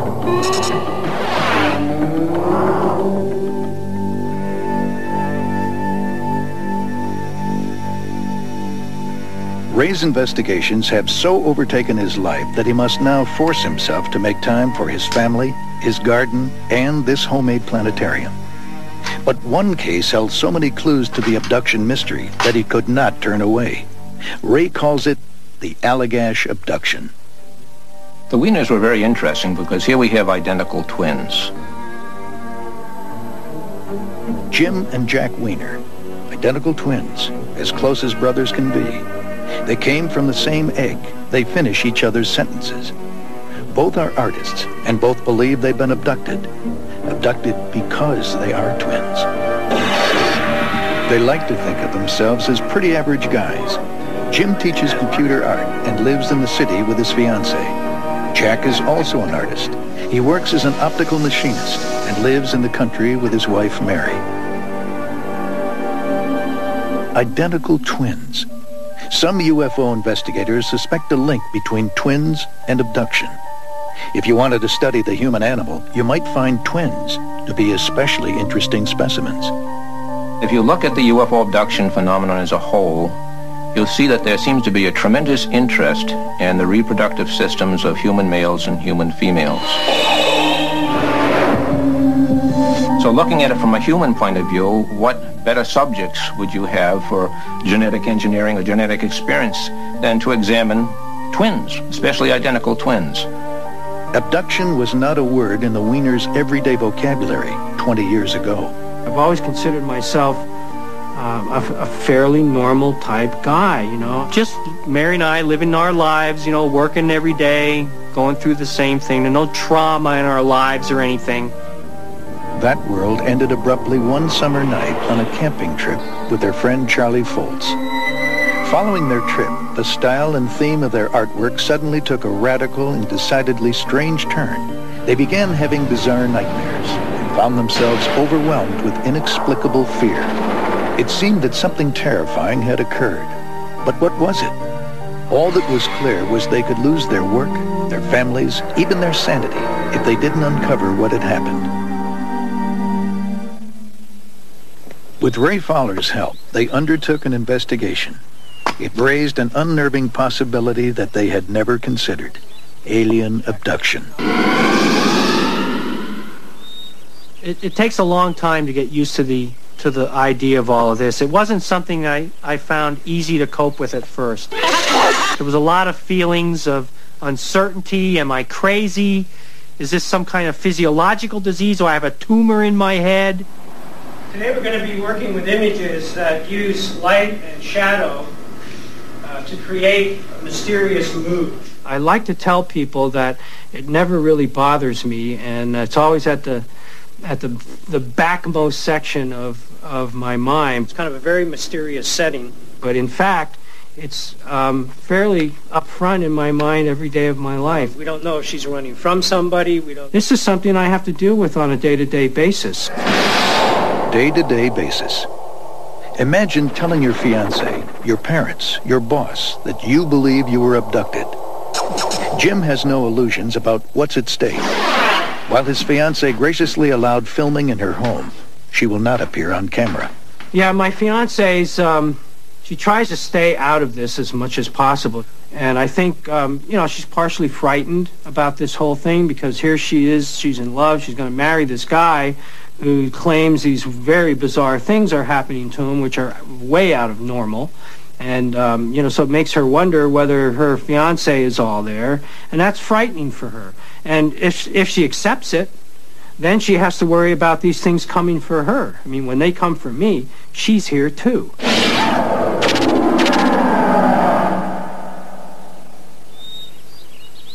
But what things? Who is coming? And what do they want? Jim needs to know. We're not doing this to uh, entertain people. We're not doing this for 15 minutes of fame on television. I mean, we're doing this because we want to find answers. When Ray offered to investigate their case, Jim and Jack knew that it wouldn't be a cure for whatever is happening to them. But perhaps having some answers is better than none at all.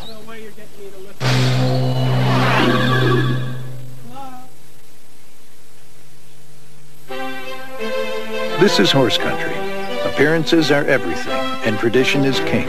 It's a world of money, power, and influence, the perfect setting for a soap opera. But behind the gates of one horse farm, a story is unfolding that's more like the Twilight Zone than Days of Our Lives. Claire and Diana, complete strangers until eight years ago, or so they thought. When Diana hired Claire to manage the horse farm, they both thought their meeting was just a happy business deal. Claire was a skilled equestrian and trainer who needed work. Diana was trying to hold down a full-time job with the Forest Service and run the farm at the same time. But now they believe there was nothing chance about their meeting. Now they believe it was arranged.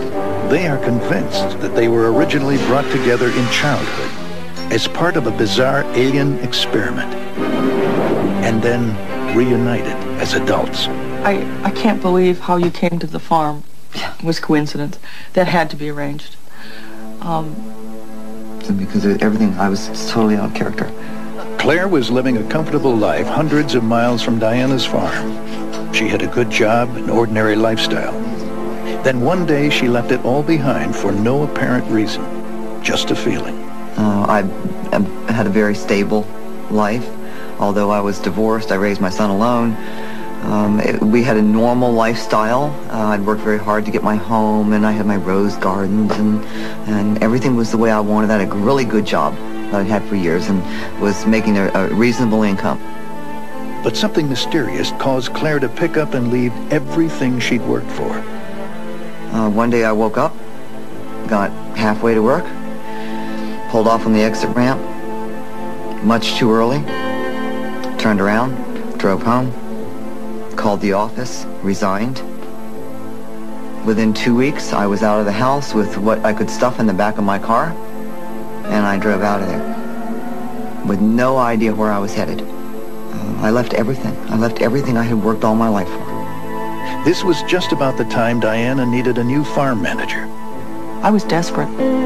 I'd had three or four people come out and interview for the job, but it wasn't quite what I wanted.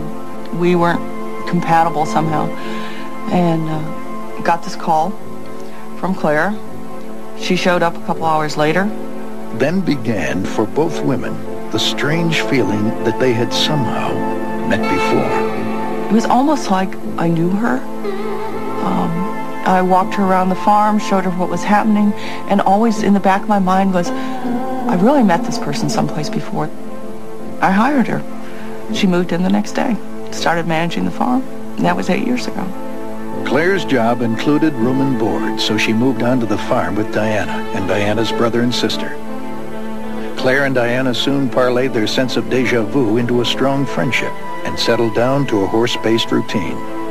Our lives were were relatively normal. We had, you know, ups and downs, um, good times, you know, some not so good times, but things went on pretty well. We were just normal, everyday people.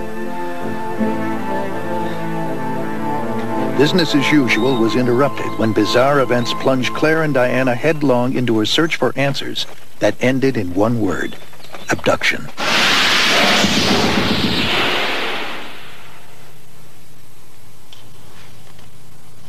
Since then, they've been living a nightmare. There's days that I have that I'm not even convinced it's really happening. That it's really a dream. But then again, I think back and, and dreams don't leave blood on the pillow. Le leaves in the bed.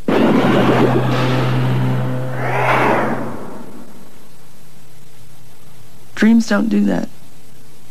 Um, so, in my mind, I know it's not a dream. I wish I were making it up. But most days, I know I'm not. It's not like you can go to the police. You can't call 911. You can't get help. Um, you can't even help yourself. You can't fight back. Get mad. Go on. Okay, that's better. Pull him up and take charge. You're letting him just fly through your hands, and you are the one in charge. The control is very important to me. Um, I need control in, in this reality because I have none of it with them. You need a little more contact with him. He's still running through your hands. He's running through your legs. I've been that way all my life. And I had always assumed that those personality traits had more to do with me just as a person. You are the boss, not the horse. Than something that may in fact have come in a response to what has happened to me throughout my life. They know some people wish they wouldn't talk about it. Claire works hard to protect her family's privacy. Diana's family refuses to appear, and they would prefer she didn't either. It's, it's been tough for them, almost as tough for them as, as it is for us, because they don't understand what's going on. Um, they don't want to believe we're crazy, but they've known us all our lives. And going, but this person isn't known for telling tales. They're not prone to making things up. You know, they don't lie. But Claire and Diana know that some people think they do lie, and some think they're crazy. But there are many others who stand by them. I've been coming here about eight years, maybe a little longer. Well, I have no problem at all with these people. If I did, I wouldn't come here, because I can stay busy. I'm a real good horseshoer, lady. I'm sure it's hurt their business.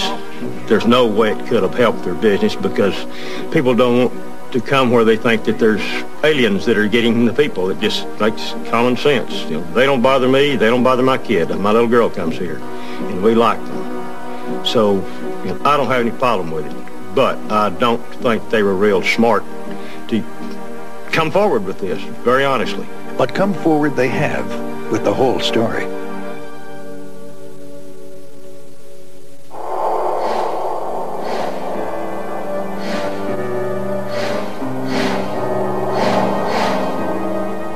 This man, too, has had his life interrupted, derailed by a strange encounter with a bright light in the sky.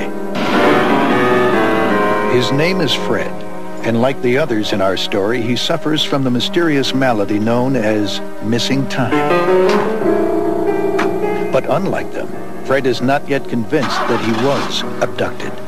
Until now, he has hesitated to explore his missing time because he fears what his hidden memories may reveal.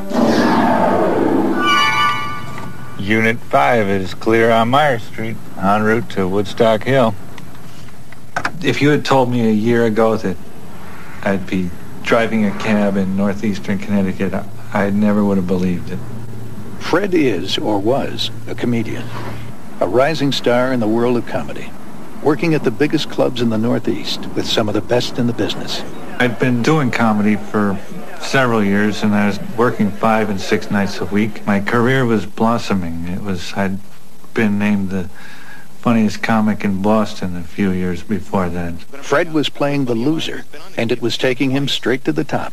One of the best in town. He's one of the kings of comedy. Headlining all around the country. He's very funny and soon to be your friend. Please welcome. Put your hands together. A nice round of applause for the comedy of Simply Fred. Simply Fred. Fred. Getting the impression my gynecologist is ripping me off. and there were the good times growing up. You know, my father used to throw me up in the air, run. When I was 15, I quit school and I ran away from home on the advice of my guidance counselor. Never cook bacon in the nude.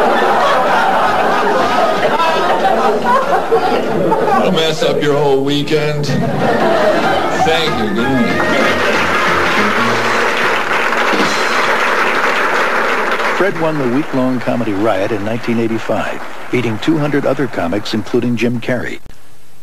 I was working with lots of people who, you know, their careers blossomed and, you know, I'd been at it for quite a few years and was ready to to make the move into a headliner status. And then this happened, and now I'm here in the quiet corner of Connecticut. But it's not just Fred's career that's on hold. Since the night of missing time, everything that's happened has taken a toll on his relationship with his fiancée, Nina. At one point, she made me stop talking about it completely. I which was not good for me. I mean, I couldn't. It's something I have to examine, and yet, if I'm forbidden to talk about it, uh, where do I go? What do I do? Uh, she's finally agreed that I could examine it. And examine it he will. Fred is about to dive headlong into the mystery of his missing time. He prays that he makes it back with his sanity intact and his world restored.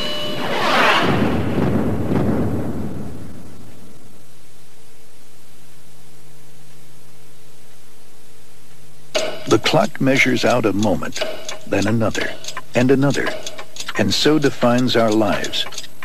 But what if time jumped, stopped, restarted, without warning, without pattern? That's the chaos of the missing time experience.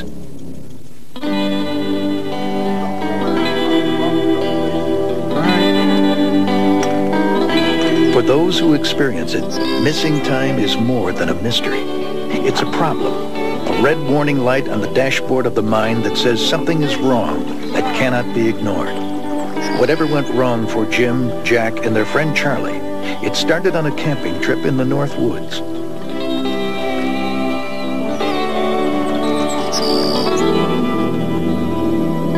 My twin brother Jack and I and two of our friends uh, went on a camping trip and canoe trip uh, to Baxter State Park in northern Maine. It's up way up in the middle of the Northwoods Wilderness.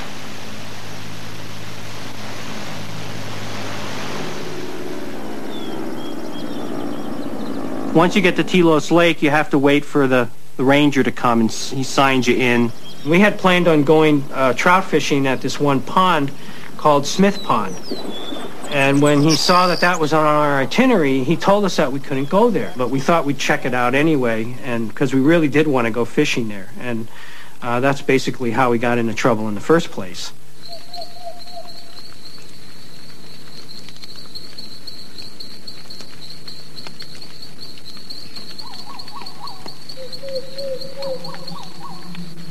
A couple of nights later, the four of us decided to do some fishing out on the lake. So we built this large bonfire to act as a beacon. Otherwise, you can't find your way back.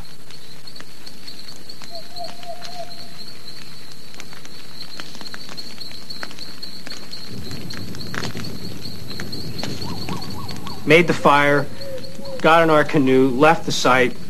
We were out in the water just a few minutes. It was very swampy, a lot of sunken trees and roots, a treacherous kind of area. And out there, started fishing. Uh, maybe 20 minutes into this, we weren't out there very long. We were shining, I was shining a flashlight down in the water looking for structure that we might find some fish in. While I was looking down in the water, one of the fellows from the back yelled, what the hell is that? When I turned around to see what he was looking at, um, here at the end of the lake, just over the tops of the trees, was this huge sphere of light. I mean, it was gigantic. It was the size of a two-story house, not making any sound whatsoever. And it just floated there. We were downwind from it. No humming, no whirring, no whistling, no buzzing, absolutely nothing. At first, we tried to figure out, you know, tried to rationalize, well, what the heck can this thing be? I knew all the things that it wasn't. I knew it was no helicopter. It's not moving like a, a, a weather balloon. So this wasn't anything that I, in my military experience, had ever seen or heard of. So we decide, I think Charlie Folt said, well, how about if I signal it with a flashlight, see if it does anything? And we said, yeah, great idea, do that. When I did that, a shaft of light just slammed out of the bottom of it. One instant it's not there, and next it's there. And the minute he signals this thing, it starts moving towards us. I grabbed the canoe paddle, threw the blade of the paddle into the water. I started paddling as hard as I could. I locked my vision on the fire.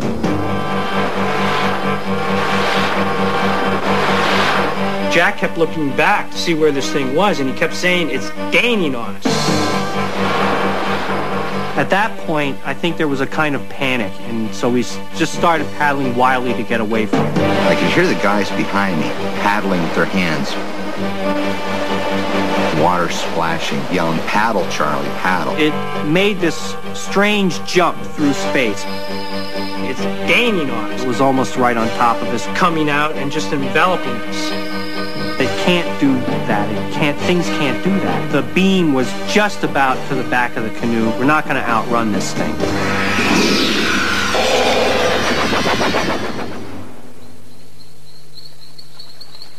That was the last thing that went through my mind before we found ourselves at the beach.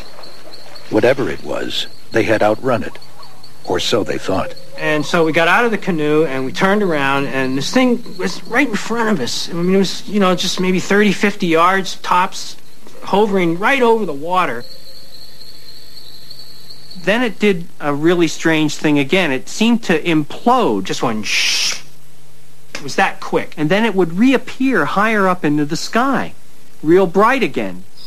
And it, would, and it seemed to go uh, uh, higher in the sky. It was gaining elevation in steps like that until finally it just took off like a bullet. It just went faster than that. I can't express how it was an instant. It was gone in an instant. We were dumbfounded. We were just standing there uh, wondering what the heck just happened. And uh, we seemed like uh, we were kind of in state of shock. Then they discovered hours of time were missing. The first sign of it was the fire. And when we went back to our campfire, all that was left was embers, which we thought was a little odd because it seemed to us that from the time we left to go fishing to the time we got back after seeing this thing, only 15 or 20 minutes had elapsed. In fact, I was sure of it. It should still be blazing. It should still have flames four, five, six feet going up in the air. It was just something we could never really explain. It was a mystery. A mystery that would come to haunt them. Come on, girls. Come on, Mares.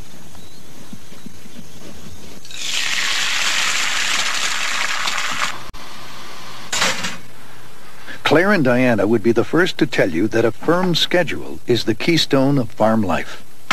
But one night, Claire inexplicably lost two hours of time, which not only disrupted their lives, but threatened her sanity. No, no, not out of the bucket, out of the And for her, like the Weiners, it started with a light.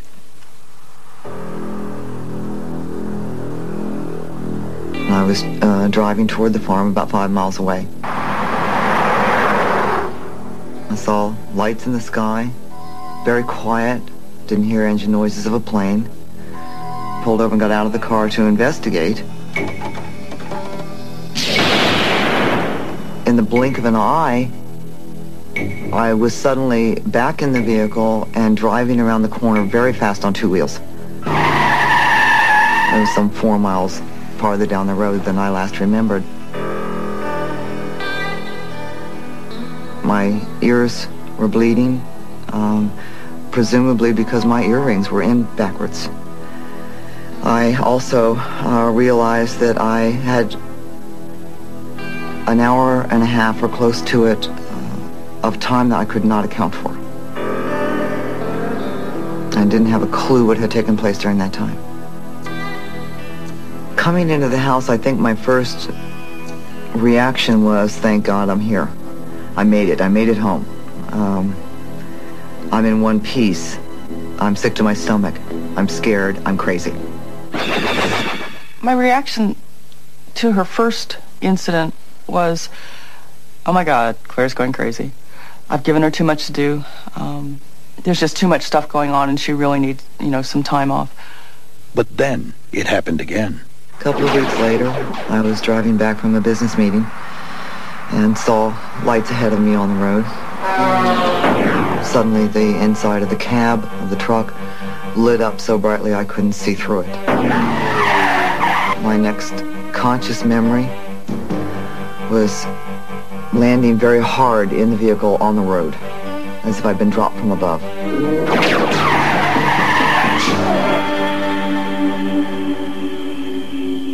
I was afraid to tell them this had happened again. Uh, I didn't want him to think I was crazy. I didn't want them to lock me up.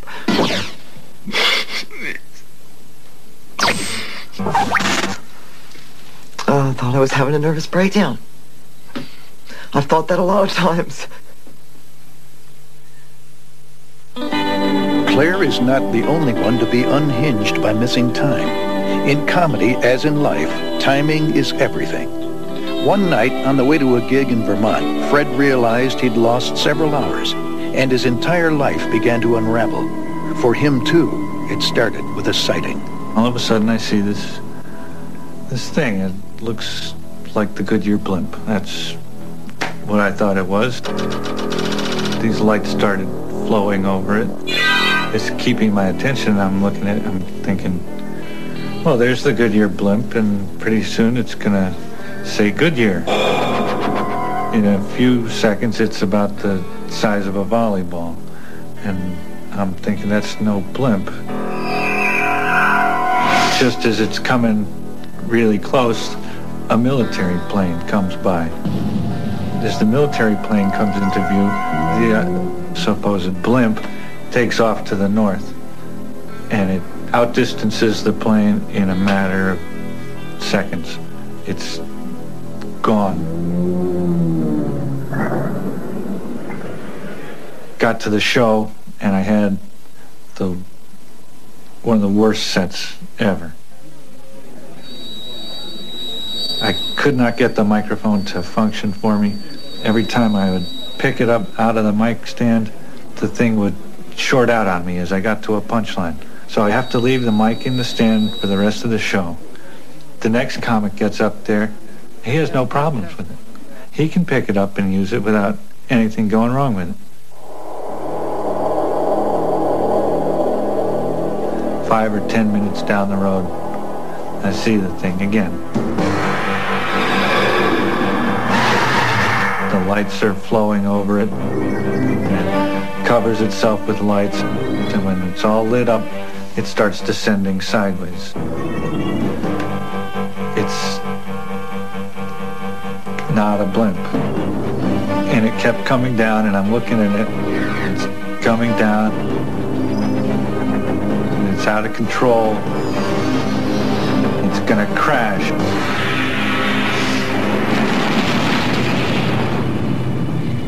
And then, nothing. It was all over. Only a haze remained. The sky is all lit up red. I have to pull into a motel. I'm exhausted. I can't drive any further. It's 1.30 in the morning. It's 15 miles from where I started, and it's three hours later. So there's no way I drove the whole way at five miles an hour. I got a lot of missing time there. It's just, I don't understand.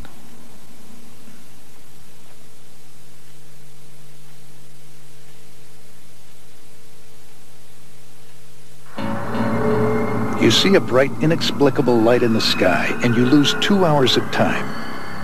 Something seems wrong. At first, you run over the episode in your mind, trying to make sense of it for yourself. The next day, we woke up, um, broke camp, didn't talk much at all. In fact, I don't remember talking about it at all.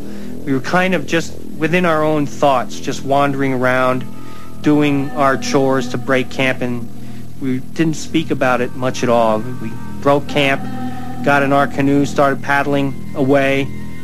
Several hours later, we started remembering this light that we saw the night before, and that was when we really started discussing it. If you can't make sense of what happened, you could try telling someone else. But if you do, you might discover, just as the Weiners did, that no one seems to believe you. We signaled a ranger who we saw crossing the lake to come over. We told him what we saw, and we asked him, you know, if anyone else had reported seeing these things, uh, if they had seen any of these things, what the, you know, what the hell's going on here? We were sure someone else had seen it. Somebody else had to see this thing. It was enormous. So we told the ranger and his uh, his sidekick Matt, and his reaction was, uh, if it isn't the bears or the bugs the campers are complaining about, it's the doggone Martians now. I guess I'm going to just have to get out my ray gun, unquote, you know. So, I mean, which we didn't think was very funny. We said, no, no, you know, we're not, this isn't a joke. We're not joking. This is for real. It really happened. And he's and uh, Charlie was smoking a pipe because he was trying to quit smoking cigarettes. And I remember he had his pipe there and he was trying to light his pipe. And the ranger said, "I don't know what you've been putting in that pipe you're smoking there, boys, but I'd lay off it for a while if I were you." And we were like, "Oh no, no one is ever going to believe us." So nobody believes you. What would you do? The Weiners were on a simple camping trip. The first ranger told them not to go to Smith Pond because the water was too low, but they went anyway. Then they had a strange encounter with a light and lost two hours of time. The first person they told thought they were crazy, so they decided to drop it and go on with their trip. But the very next day, something happened that made them start wondering all over again. The next day, we were on another part of the lake, and um, where the lake system turns into the river part of the Allagash waterway. And there's a stretch of uh, rapids called Chase Rapids, class four. And my brother and I had never done rapids in a canoe. We were uh, really worried about because we had all this gear with us. So we, we wanted to portage. And um, we were talking to a, another ranger about portaging around the rapids, and he said, oh, well, what are you worried about? There are no rapids right now. And we were like, what are you talking about? It's two and a half miles of rapids here. And he said, we just had a hurricane come through a week and a half ago, and the water level is like two and a half to three feet above normal. So all the rocks are underwater. It's smooth sailing relatively, which I thought was really strange because when we first landed on the lakes, this other ranger told us that the water level was too low to go to Smith Pond. So to me, that was a direct contradiction. And in fact, we told him that. We said, well, oh, that's a little odd because uh, Ranger so-and-so told us that the water level was low for this time of year, and that's why we couldn't go to Smith Pond. I mean, as soon as we said that, this guy just turned his back to us and walked away and wouldn't talk to us anymore. We thought this was the official reaction. That was the end of it. So we, you know, it kind of discouraged us from making any other official reports.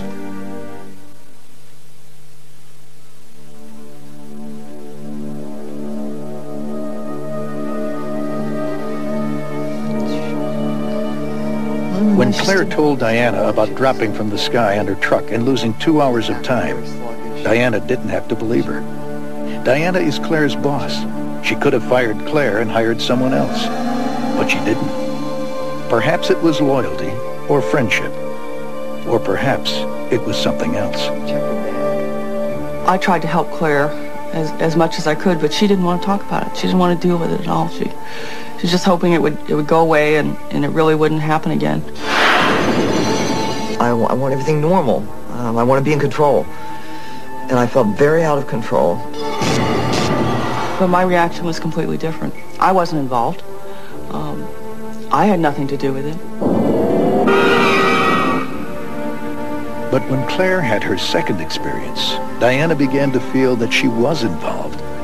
Diana's mind was set in motion, and for her too, a trickle of memories began. She remembered a little bit more of that incident, and it seemed a little stranger to me, and it got me thinking to a time a couple years back when we had seen some really bright lights outside the back door and gone out on the porch and watched them, and we were just thoroughly fascinated that we have actually seen a UFO. So I started finding every book I could on the subject and started reading like crazy. It was fascinating to me.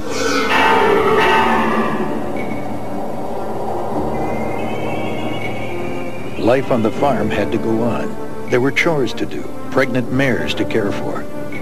But both women noticed that a blanket of strangeness had descended over their lives. Everywhere they turned, something seemed odd or out of place. At first, they chalked it up to imagination or coincidence, until disturbing events happened too often to ignore. As Claire had more and more memories, it, it got stranger and stranger. She started having memories of strange hands. Uh, we connected the lights we'd seen a couple years earlier.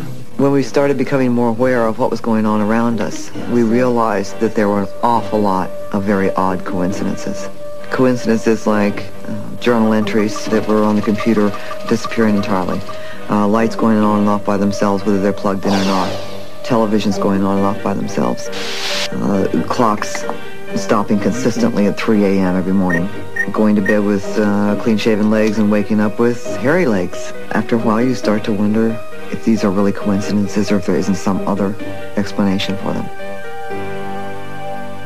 I got concerned when I knew we couldn't handle it anymore. I knew we needed more help and more knowledge than, than we had.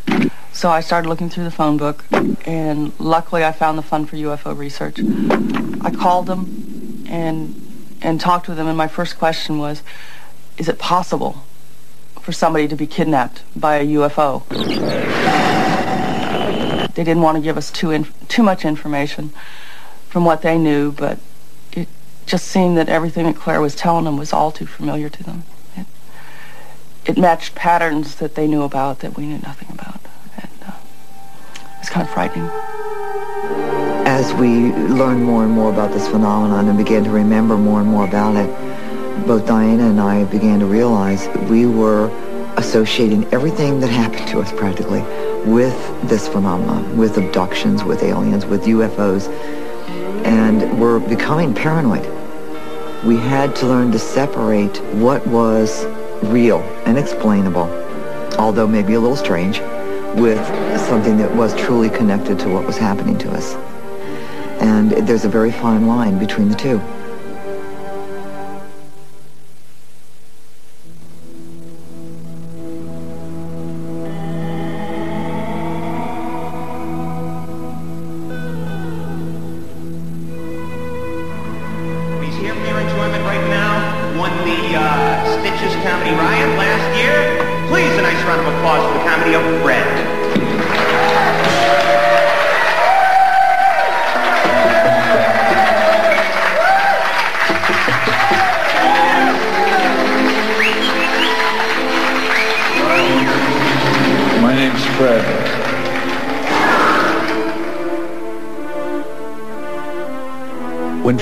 Returned from his failed comedy gig in Vermont, after a bizarre sighting and missing time, he couldn't help but tell someone. Sometimes he wishes he'd kept his mouth shut. As soon as I got back to town, I mean, it was the first, the only thing I could talk about. It was the biggest thing that ever happened to me, and I couldn't keep quiet about it. But, you know, I was telling other comedians about it, and they're not the people to tell. Fred's UFO story started to damage his reputation in the business. I told one agent who, one producer who was a former air traffic controller, and he just would have nothing to do with it. He just said, "Oh, you're talking to the wrong person here," and stopped giving me work. But a damaged reputation wasn't the only problem Fred faced. It just shattered my confidence. I mean, the key to doing comedy, to putting it over, is to be self-confident. And, you know, especially with the type of stuff I do, the self-deprecating stuff, it's, it's right on the edge where you're, if, you know, you don't do it right, the audience isn't going to buy it. I couldn't really focus on jokes when I've got UFOs plaguing my thoughts. I want my career back. So, Fred writes to comedy clubs and agents, like a man in deep water, reaching out to those who can keep him from sinking. But in truth, Fred's nemesis now is his own mind. And until he reaches into it and digs deeper into the mystery of his missing time, he knows his career will remain on hold.